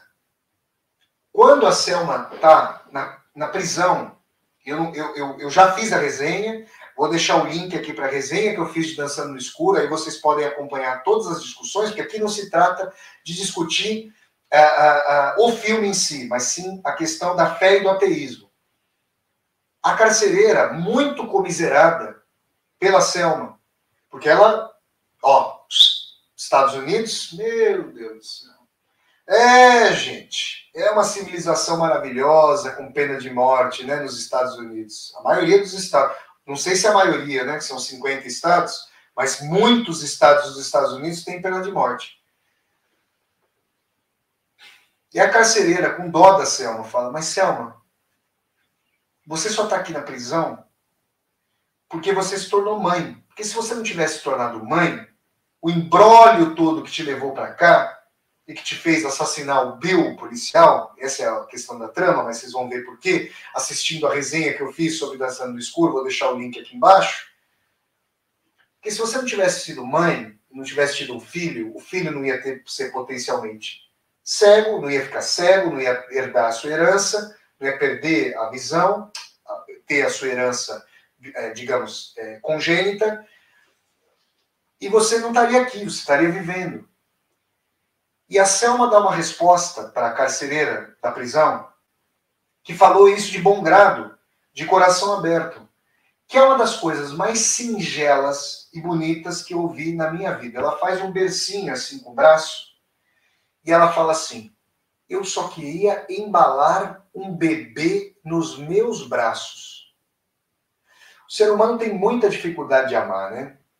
Não é à toa que nessa época de sumo egoísmo, de neoliberalismo é, é, é, introjetado, que não é só institucional ou anti-institucional, na verdade, destruindo todas as, as redes públicas de instituição, de, direito, é, previdência social, direitos trabalhistas, sistema de educação pública, sistema de saúde pública. Nós vamos chegar a sociedades ingovernáveis. Não é à toa que cada um é, é, ache que está feliz, sorria para as redes sociais, ficando sozinho, sozinha, mas é, muitas vezes recorrendo a remédios de tarja preta, prescritos industrialmente. Então, isso dá a dimensão de quanta felicidade a nossa época tem, não é verdade? E a Selma, contra tudo e contra todos, contra tudo e contra todas, se dedicou ali a, a, a, ao filho. Foi a opção dela. Não, não, não, não, se fala do marido dela. A Selma é mais uma mãe solteira, né? Quantas famílias de mães solteiras temos no mundo, não só no Brasil? né? e pessoas falando de um tipo só de família. Primeiro que esse tipo é, tradicional de família cada vez menos existe, por, por, várias mudanças aqui, mas as famílias das mães solteiras, da, da, que são compostas por mães solteiras, são famílias muito presentes na sociedade. Então, sofrendo, a Selma ali, trabalhando de só a só. E se entregando para esse tipo de criação do, do filho. Entendendo que a vida não é só hedonismo, é, busca ensandecida de prazer, tresloucada de coisificação, dinheiro, hedonismo, esse laço. E fica a nossa pergunta: mas por quê? Por que essa entrega? Por que se entregar a algo? Por que acreditar em algo? Não vai acabar? A lâmina não vai despencar? Então, isso é racional? Ah, mas é bom. Mas bom por quê? Em função de quê? Por que é bom? Qual o lastro de um laço de carinho? A Selma é toda é toda a encarnação daquela passagem de O Sétimo Selo que eu mencionei aqui. Se o amor é imperfeito, o amor é o que há de mais perfeito nesse mundo repleto de imperfeições. O amor em suas imperfeições é o que há de mais perfeito nesse mundo imperfeito. E esse amor do qual a gente fala, aqui, que o Bergman está mencionando no sétimo selo, que a Selma encarna na sua trajetória, é um tipo de amor que transcende os próprios desígnios, os próprios prazeres, as próprias deliberações, que hoje as pessoas conversam sobre o amor, mas é, é, na primeira desavença, na primeira é, dificuldade, na primeira é, de, é, a primeira necessidade de, de, conversa, de trânsito entre as pessoas nas suas muitas diferenças, é, cada um empacota as coisas e volta para si. Agora, esse tipo de amor que a Selma vivencia, que a Selma traz à tona, que a Selma exuda, ou seja, que ela exala e exuda, é um amor dizendo que ela se priva de muito da sua vida, por ter realizado um sonho que potencialmente culminaria na, no problema de visão do filho, e por isso ela, ao mesmo tempo que amava, purgava essa maternidade, que era uma santificação da vida dela, não no sentido sacro, mas no sentido do amor, do caráter sagrado, não para transcendência, mas para aquela entrega de amor que ela teve. E aí a gente fica pensando nessa dimensão existia uma dimensão, é um argumento bonito, uh, um argumento filosófico para a existência de Deus que o Kant, na crítica da razão pura, desmontou. Mas não deixa de ser interessante. E eu vou colocar o argumento ontológico para a existência de Deus e alguns encaminhamentos que o Immanuel Kant, na crítica da razão pura, deu para isso. Vocês já viram, é, é, vocês já depararam com uma sociedade inteiramente boa? Vocês já depararam com alguém inteiramente bom? vocês já depararam com uma vida de ponta a ponta, às vezes num, num só dia, inteiramente bom? Provavelmente vocês vão dizer não. Então, da onde vêm essas noções de bondade? O argumento ontológico para a existência de Deus costumava dizer que, não havendo, como não há, essas dimensões na existência mesma, elas só podem ser provenientes da fonte mesma de onde essa bondade emana. Estão percebendo? Esse, essa é a dimensão do argumento ontológico para a existência de Deus. O Kant, entre outras coisas, vai dizer que aquilo que a razão não puder averiguar, ou o nômeno mesmo das coisas, aquilo que é incognoscível para a razão, em face da escassez do seu contraste com a empiria, com a realidade tangível, com a realidade verificável, está na ordem do insondável pela razão pois Ingmar Bergman e Lars von Trier buscaram nos seus filmes, seja por intermédio da, de uma relação. Tem uma cena muito bonita em O Sétimo Selo, em que o Yuff, que é um artista de circo, ele que consegue ver a morte, e aliás, isso tem uma dimensão no Bergman, de que o artista, para além do indagador racional, conseguiria ter um acesso a dinâmicas mesmas da realidade que só o indagador não teria, com a sua sanha racional, racionalista. Numa, numa dimensão bergmaniana de cisão entre razão e fé. Mas tem um momento em que o Antônio Bloch, o cavaleiro do sétimo selo, se senta com o Yof e com a Mia, a esposa do Yof, e a, a Mia lhe oferece uma tigela grande, assim, uma tigela repleta de leite, com morangos. E o Antônio Bloch sente uma completude naquela partilha, na partilha do pão, como se a sua vida tivesse sido novamente dotada de sentido. Essa partilha momentânea, e depois o tormento volta para o cavaleiro Antônio Bloch, é uma partilha que a Selma decidiu viver para além de si mesma nesse vínculo com o seu filho. É claro que há pessoas que podem dizer que a maternidade envolveria um narcisismo, né? Porque ah, é, é amar o próximo, aquele que vem da própria mãe. Eu concordo em termos, mas quantas mães vocês conhecem não são assim? Não desenvolveram. É, quantas mães e pais não são assim? Não é dado. Ser mãe, ser pai, o fato de ter essa, essa entidade implica que a pessoa é o arquétipo da mãe e do pai? Não, a gente sabe que não. Aliás, quantos consultórios de, de psicologia e psiquiatria estão lotados justamente porque o arquétipo não corresponde à realidade? Não é verdade, gente? Então, pessoal, é, é essa discussão sobre fé e ateísmo no Bergman e no Lars von Trier era uma discussão sobre os rumos da vida. Eu já conversei com pessoas, amigos e amigas, que me ligaram é, para desabafar, para falar sobre a vida, sobre sentido ou falta de sentido da vida. E é, quem eu sempre cito essa passagem do Hans Castorp, na Montanha Mágica, do Thomas Mann. Aliás, já fiz um, uma leitura de Vassoler de trechos da Montanha Mágica, vou deixar aqui embaixo para vocês. Quem muito pensa sobre a vida, cedo ou tarde depara com a morte. E ter convivido com essas dimensões, ter.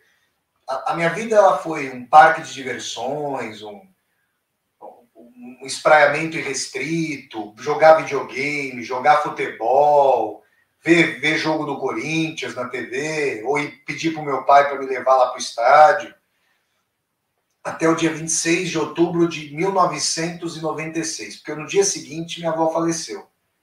E aí, nunca mais essas questões me abandonaram, porque não foram questões. Eu não cheguei até elas em livros.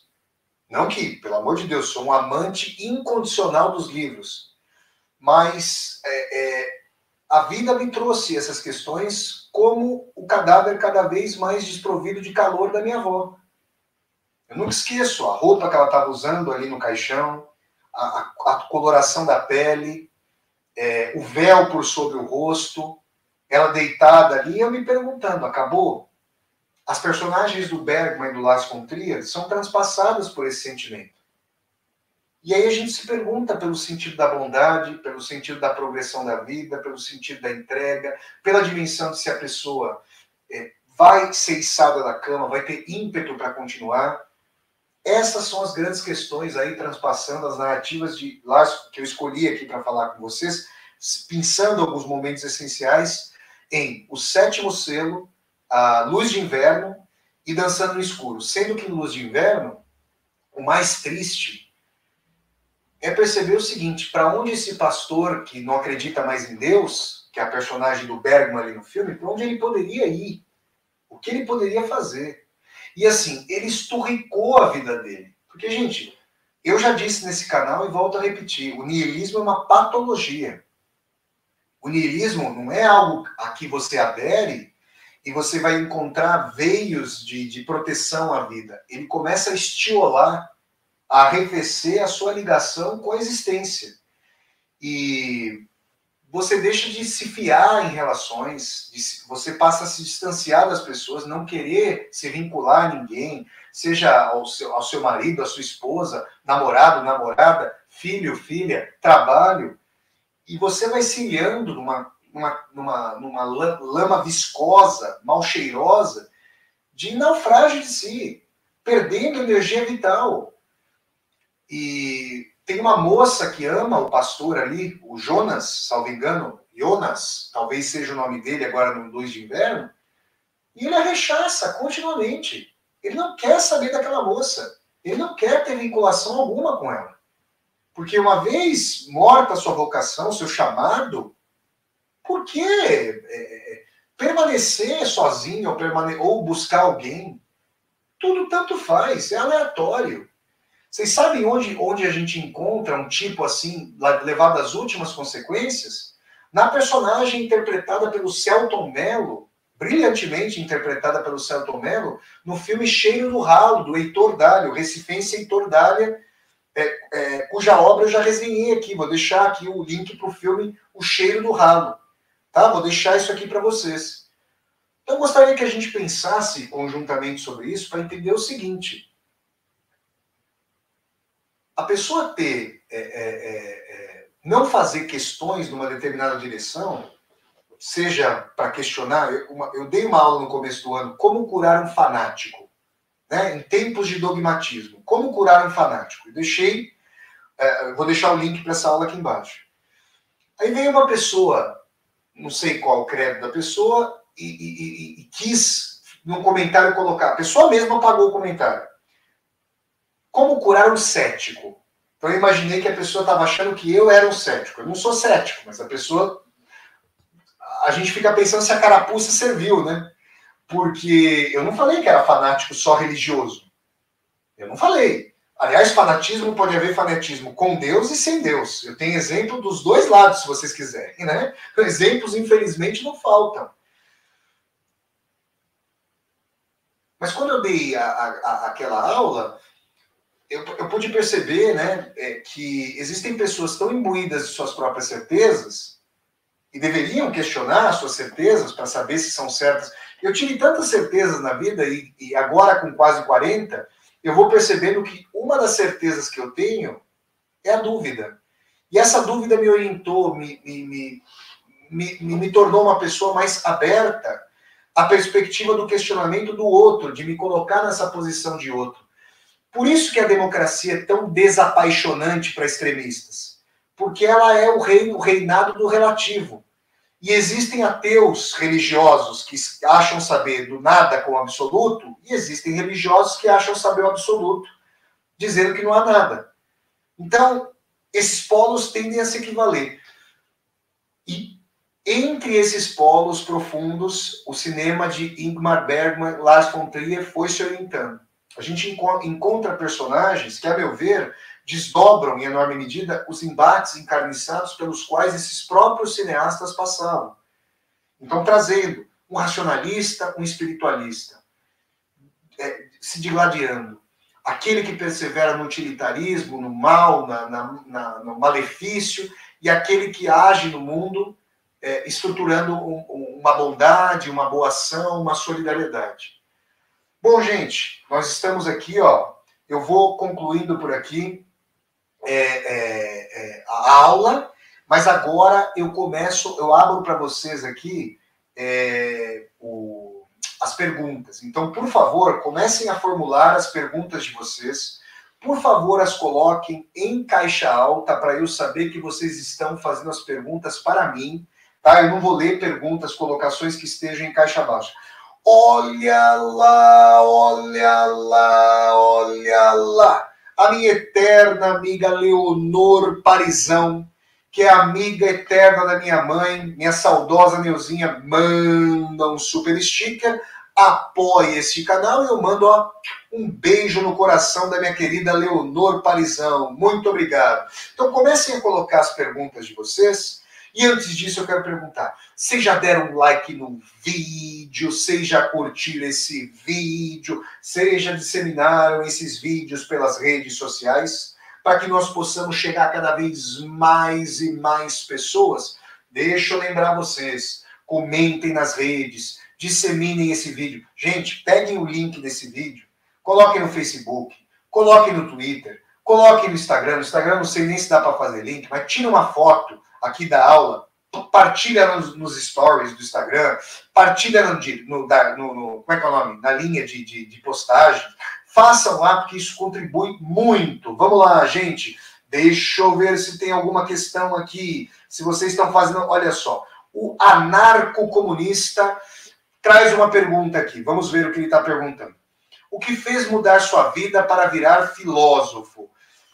Anarco, meu amigo, eu não tenho formação é, acadêmica em filosofia, né? Eu, eu sou graduado em ciências sociais e eu fiz toda a minha pós-graduação estudando a obra das Dostoiévski com as suas adjacências na filosofia, na psicologia, na sociologia, na política, na teologia e assim por diante. Então, boa parte daquilo que eu falei para vocês, daquilo sobre o que eu, eu, eu, eu discorri nessa aula, são motivos que me fizeram buscar na literatura, essencialmente. Porque a literatura, para mim, é, de todas as artes, aquela que mais integralmente se aproxima da experiência é, é, totalizante do ser. Porque é, é o cinema pode dar insinuações sobre as especulações de uma alma. Mas quando toma o um monólogo de empréstimo da literatura do teatro, já justamente está empregando uma técnica que não vem dele próprio.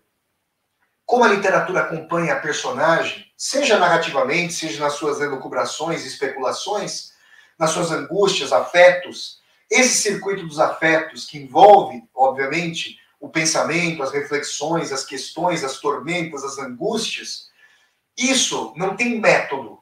Né? Quiseram me trazer o, o, método X, Y e Z nas ciências sociais. Eu falei, mas peraí. Quer dizer, então, que se eu quiser fazer uma discussão psicossocial, vou ter problema por causa porque a realidade deve se adequar ao método? Não. Sou eu que devo sondar a realidade, tentando empregar. Olha, gente, eu já ouvi adjetivos no sentido eclético. É mesmo? A realidade, então, tem escola própria? Então me fala, onde é que a escola X, quando não responde a uma aporia, por que eu não posso recorrer a outra vertente? Por isso que a experiência da literatura, respondendo aqui para o anarco-comunista e para, para os demais e para as demais que estão aqui, me trouxe essa perspectiva mais ecumênica, de fazer, por exemplo, essas questões.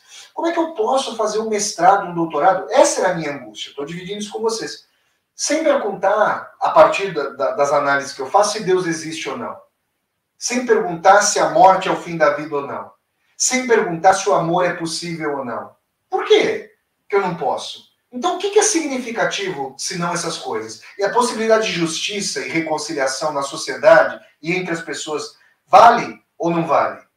Essas eram as minhas questões, meu amigo. Por isso que eu fui para esse campo. Vamos ver. Deixa eu ver aqui. Teve mais pergunta. É, é...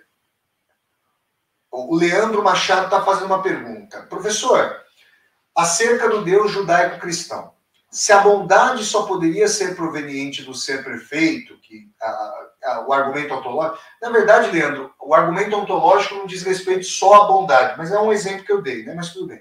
Como poderia haver a maldade proveniente do verbo criador? Meu amigo, essa pergunta é uma pergunta que transpassa a história da filosofia, e eu vou dizer para você, obrigado, Leandro Machado, muito obrigado. É, eu vou dizer a você que eu já abordei essa questão em vários momentos aqui no meu canal do YouTube. Uh, você pode assistir a uma resenha que eu fiz do livro Confissões de Santo Agostinho, vou deixar o link aqui embaixo, para eu encaminhar você essa discussão sobre o mal. Também já ministrei uma aula sobre as possíveis origens do mal. É que essa questão realmente é tão ampla e ela, ela recebeu vários encaminhamentos. Aliás, eu quero indicar, tem essa, você está falando da, do Deus judaico-cristão, uh, tem uma resposta judaico-cristã para essa questão e tem uma resposta reencarnacionista, budista e espírita. E eu vou deixar o link para uma aula que eu dei sobre Dostoiévski e Allan Kardec aqui para você também. Como a questão é muito ampla, se eu for é, me enveredar para responder a essa questão agora, eu saio do, do assunto aqui da nossa aula. Mas eu vou deixar todas as referências aqui embaixo para você. Muito obrigado. É, deixa eu ver. Aqui, deixa eu ver aqui, que mais? Uh, o Isaac Aleph. Sua família é cristã, quando foi e com quantos anos você começou a questionar a realidade universal? O Isaac, eu não sei se é, não sei se o Isaac estava acho que não acompanhou um determinado trecho da aula, talvez tenha chegado depois. E eu estava dizendo, Isaac, a, a, assim, a minha família, é, minha mãe era católica, meu pai também raramente iam à igreja, como muitas e muitos brasileiros são católicos, né? Mas que não iam à igreja. Ah, mas a minha mãe é, quis que nós fizéssemos primeira, primeira comunhão, né, catecismo e a formação. Mas uma coisa da qual eu nunca vou me esquecer, eu já falei aqui no canal. Uh, lá em casa tinha um livro, de, eu nunca vou esquecer, gente. É, um livro de capa amarela, dura, com letras bem bonitas, assim, redondinhas. Sabe? Parece uma letra bem redondinha e chamado Meu Livro de Histórias Bíblicas. Esse era um livro que tinha lá em casa. E aí eu lia esse livro, era um livro ilustrado. Gente, eu devia ter o quê ali? 9, 10, 11 anos de idade? É, até. É, acho que por aí. Eu estava fazendo primeira comunhão mesmo. E aí eu ficava pensando nessa questão de Moisés abrindo as águas do Mar Vermelho. Quando eu tive em frente ao Mar, ao Mar Vermelho, na cidade de Eilat, ao sul de Israel, aliás, tem uma playlist aqui, Vassoler, o Nômade em Israel. Vou deixar o link aqui para o vídeo, para a playlist. E aí eu me lembrei, né? Eu me lembrei, nossa, eu li isso aqui. E o maná do deserto, o pão de mel caindo do céu, essas coisas me tocavam muito. Tem uma vez, Isaac, e todas e todos vocês, eu tava. Eu acho que a santa, porque quem é católico, tem formação católica, você reza em frente do santo, né? E eu me lembro de que a Nossa Senhora de Aparecida que tinha lá em casa, é, olha lá, oh, pera, peraí, esse super sticker veio, olha lá, olha lá, olha lá. O nosso querido Sérgio Romero manda mais um super sticker e muito obrigado, muito obrigado, meu amigo. Muito obrigado, Sérgio. E aí, eu lembro desse dia, deixa eu contar essa história para vocês. Eu estava em casa, imagina assim, ó, tinha um guarda-roupa lá em casa, que meu pai e minha mãe compraram a duras penas, coitados. Dois trabalhadores, né? Dois proletários lá de São Bernardo do Campo. E esse guarda-roupa, ele tinha, ele tinha ali o guarda-roupa na parte de cima, aí tinha a penteadeira, né? Imaginem aí tinha as portas do guarda-roupa em cima, uma porta que é para o meio maior, para colocar camisa, vestido, uma coisa ali. Tinha as penteadeiras em cada cama e tinha as camas, né? E eu me lembro de que tinha um dia que minha mãe ensinava a gente a rezar toda noite. Aí uma, uma noite, eu não sei porquê, a Nossa Senhora de Aparecida não estava lá. Aí eu pensei comigo, né? Eu era criança. Bom, eu vou juntar as minhas mãos, eu vou rezar olhando para a luz. Porque é como se eu tivesse rezando para Deus. Aí a minha mãe, a hora que ela entrou, a hora que ela me viu rezando, é, à noite, ela entrou no quarto, ela falou para eu parar, para esperar eu buscar a santa e colocar a santa para eu poder rezar. Isso eu lembro como se fosse agora. E eu acho que foi a primeira vez, assim, claramente, em que me ocorreu uma coisa. Eu falei, mãe, eu lembro de eu ter falado isso, eu era uma criança. Né? Essa questão, para mim, hoje é, é, faz, já está respondida há bastante tempo, mas foi a primeiro momento. Eu falei, mãe, peraí. Mas eu estou aqui rezando, eu estou, é, é, é, assim, eu estou realmente concentrado e compenetrado. Não falei desse jeito, mas o que eu quis dizer foi, né? Não me lembro exatamente das palavras, mas eu disse, mãe, mas por que, que eu preciso dessa imagem necessariamente para rezar? Será que é, o fato de eu estar rezando aqui não faz já o sentido? Aí minha mãe ouviu, né? Falou, não, mas você tem que ter aqui. Por quê? Porque muitas pessoas têm, como eu tive quando criança, uma espiritualidade que é uma coisa mais porque está imantada pelo amor que vem dos pais. Você confia nos seus pais, você segue. Mas os questionamentos começaram a aflorar, né? Então, é, uma vez eu perguntei para minha mãe, você olha questão, mãe, por que, que eu preciso repetir as orações? Mas Deus já não é onisciente, ele já sabe, primeiro ele já sabe o que eu disse, o que eu vou dizer, o que eu, o, o que eu, o que eu já disse, o que eu, o que eu estou dizendo, o que eu vou dizer. Por que reiterar? E aí minha mãe, às vezes, é, minha mãe às vezes dava risada, das que ficava pensando, era uma coisa nesse sentido. Agora, eu falei é, é, da morte da minha avó, e você pode rever a aula, Aleph, e aí vai chegar a esse ponto, tá bom? É, o, aqui o nosso querido Poeta do Canto. É, aliás, tem o canal do YouTube do Poeta do Canto. Sigam o canal do Poeta do Canto. Tá aqui. Meu amigo, a morte que a vida anda armando, a vida que a morte anda tendo, reflexo, é, é reflexo da, do corpo do neoliberalismo atual ou da alma imortal do homem? Abraços. Bom, deixa eu, peraí, deixa eu reler a pergunta do poeta do canto para ver se eu a entendi precisamente. A morte que a vida anda armando, a vida que a morte anda tendo, reflexo do corpo do neoliberalismo atual ou da alma imortal do homem? É, obrigado, obrigado, Edu. Sigam o canal do Poeta do Canto, tá aqui. Gente, é, as perguntas aí que o Edu, é, a pergunta aí que o Edu trouxe é, é fundamental. Uh, a minha atitude hoje, eu vou dizer aquilo que eu sobre a pergunta do Edu e sobre uh, muitos afetos. É, hoje, quando uma pessoa com educação me contradiz, nossa, mas é uma coisa das quais eu mais gosto, porque esse contraditório é fundamental. Por que, que eu estou dizendo isso, né? Qual a relação com a questão do Edu? É, eu percebi o seguinte: existem pessoas que se arvoram em certezas. Essas pessoas é, vão encontrar momentos de profunda e radical insegurança e incerteza na vida. Eu não estou dizendo incerteza financeira, saúde, existencial, que é a mais profunda, que pode ser suscitada, esse tipo de certeza pode ser suscitado é, é, por crises econômicas, de saúde e assim por diante. Quando essas pessoas se abrirem, é que, desarvoradas dessas certezas, que elas vão ter uma dimensão de questionamento sobre o sentido da vida. Eu, eu, eu digo, é inescapável essa dimensão. Esses grandes autores que sempre me tocaram, e não é à toa, né? Podem pegar, vejam aí no meu canal.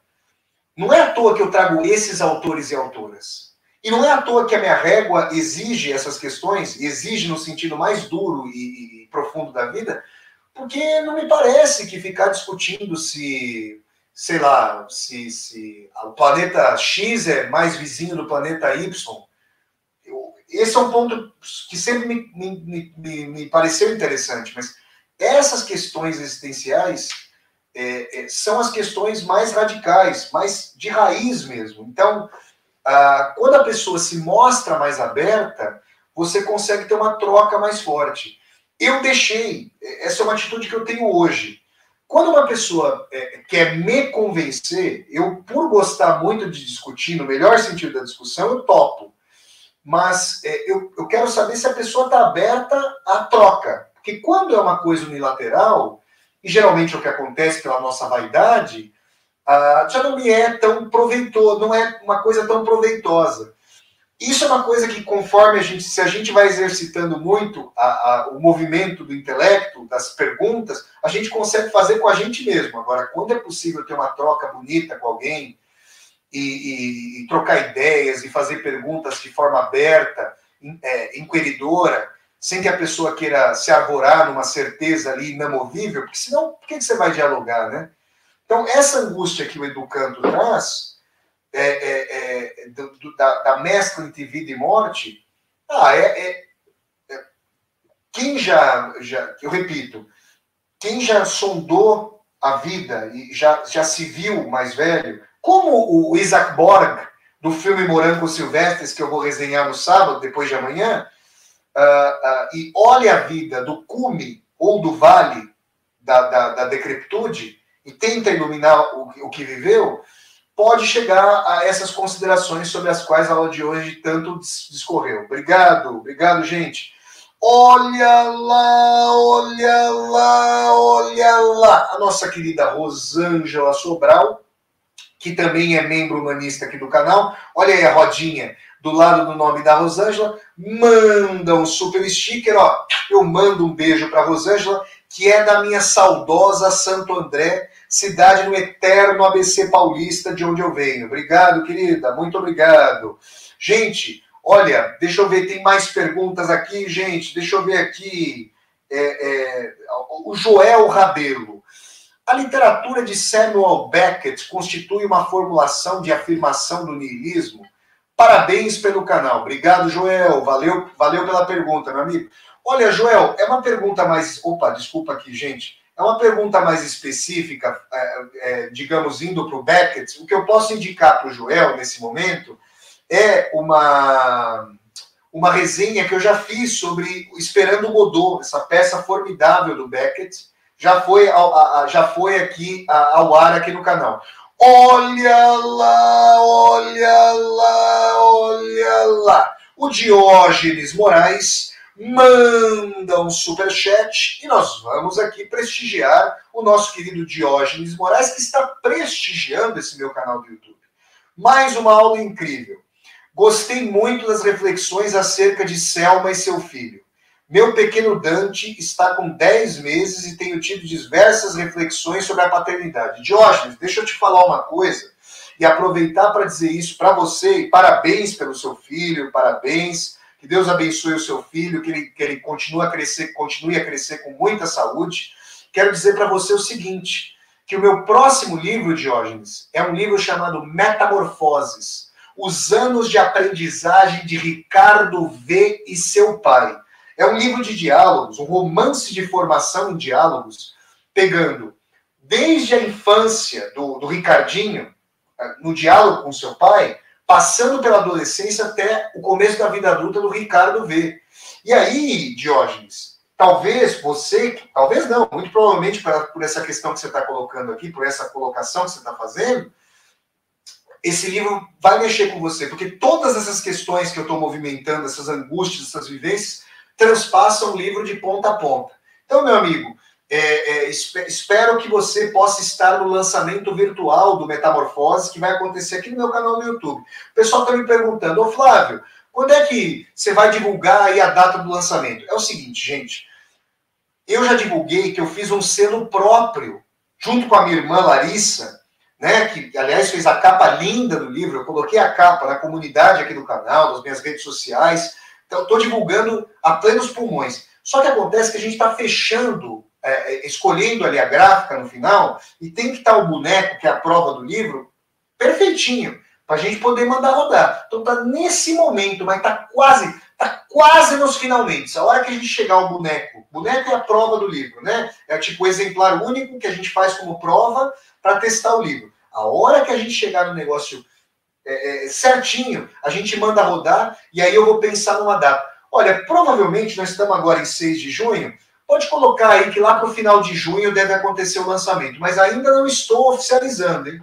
Agora, o lançamento ele vai acontecer num domingo, provavelmente, aqui no meu canal do YouTube, num Café com a Soler. Vai ter o lançamento do livro lá, tá bom? Valeu, gente! Gente, mais algumas pessoas mais alguma coisa aí, gente? Deixa eu ver se tem mais alguma pergunta, pessoal. Vamos lá. Tem mais alguma coisa? Gente, olha lá, olha lá, olha lá. A Luana Falcão, que salvo engano. Aliás, gente, deixa eu falar para vocês. Professor, O que você faz quando se sente perdido ou angustiado? Ah, essa é uma pergunta importantíssima da Luana, hein? Deixa eu falar uma coisa para vocês. Obrigado, Luana, mandando um super sticker. A Luana, gente, deixa eu falar para vocês. Luana, coloca aqui, por favor, no chat, querida, o seu site, porque essa semana, a Luana, muito gentil, a Luana está morando em Tallinn, na Estônia. E eu quero dizer a vocês que em novembro de 2008, no meu aniversário de 27 anos, eu que nasci em 1981, dia 11 de novembro de 1981, uh, ah, dia do aniversário da Dostoiévski, é brincadeira, gente. Pra vocês verem, e é verdade isso, é verdade. É, em novembro de 81, uh, ah, eu fui para Helsinki, eu fui, a gente pegou, eu e um amigo meu, o Henricão, que hoje é pai do Antônio e mora lá em Lençóis Paulista. Um grande abraço ao meu amigo Henrique.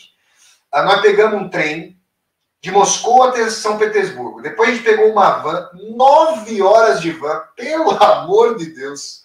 Tem que fazer isso quando bem jovem, viu, gente? Ficando aqui o, um pandareco, ficando bicário, no bico do corvo, mais velho, vamos dizer, como eu já tô, vamos dizer assim, no, vamos dizer assim. A gente tem que fazer as viagens mais aventureiras, mais jovem. Aí depois eu peguei um barco do, do para atravessar o Golfo da Finlândia e cair em Tallinn. E aí, a, a, eu estou falando da, da, Porque a Luana ela fez um comentário gentil lá no meu canal, aqui no, lá no meu canal, meu Deus, aqui no meu canal essa semana.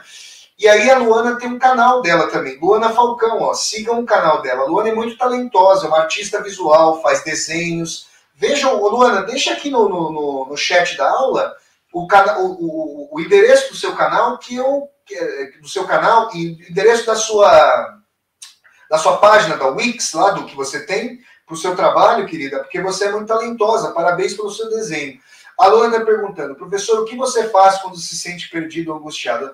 Gente, vocês acreditam que hoje, pensando nessa aula, eu imaginei que pudesse vir uma pergunta assim e eu quero falar sobre isso? E eu vou falar agora. Mas antes, Olha lá, olha lá, olha lá. O nosso querido Neto Crisanto, da cidade de Mossoró, no Rio Grande do Norte, manda o super sticker, apoie este canal e eu agradeço muito ao nosso querido Neto Crisanto. Quando eu estou angustiado, obrigado Neto e obrigado Luana. Gente, eu rezo, peço a ajuda à divindade, aos meus pais que já não estão aqui, ligo para pessoas que eu amo, é, peço ajuda, não fiquem.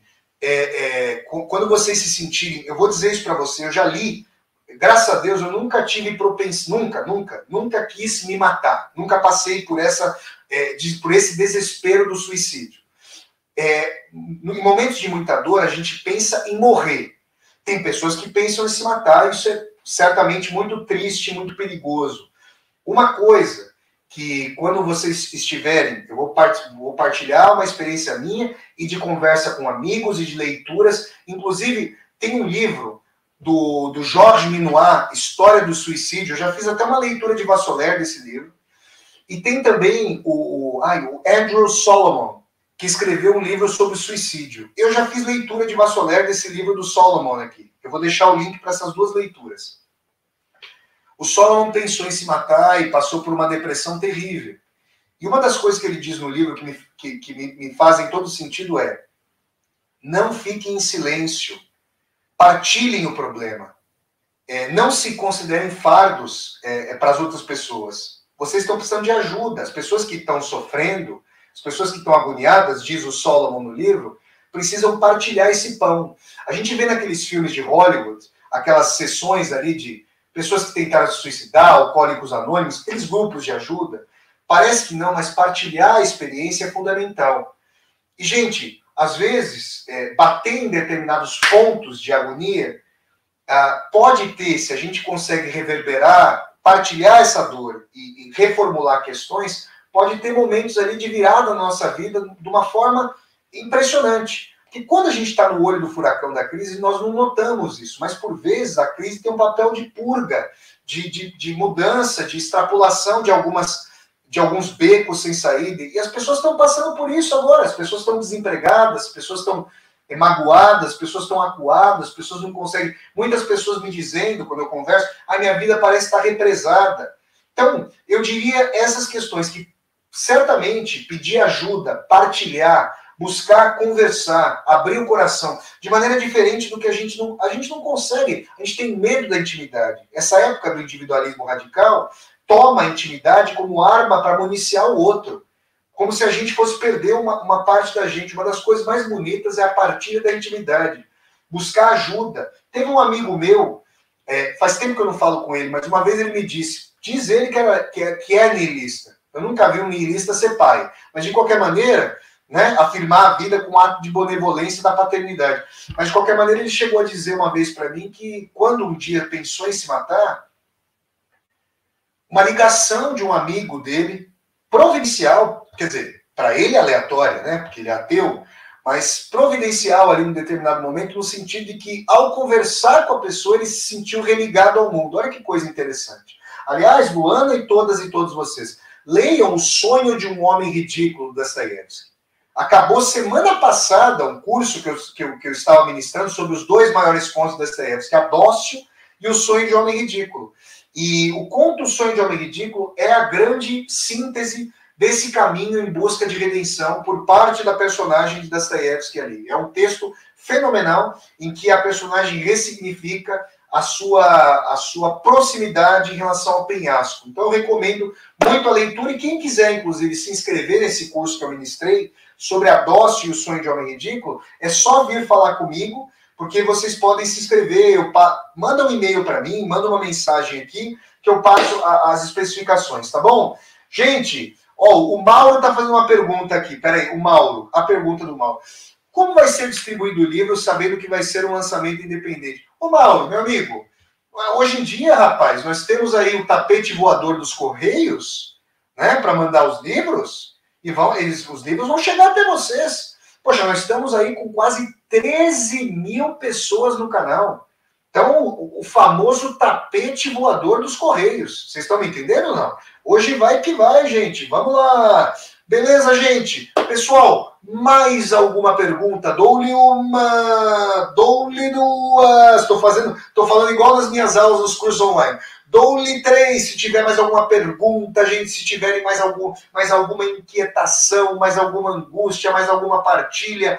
Vamos lá, pessoal. Gente, eu agradeço muito a todas e a todos vocês uh, pela uh, audiência aqui nessa aula primeira aula de quinta, não de quinta, espero que não de quinta categoria, hein, gente, mas espero que a aula, primeira aula de quinta-feira, agora as aulas ao vivo deste canal serão todas as quintas-feiras, às seis e vinte da tarde ou da noite, como vocês queiram, tá bom?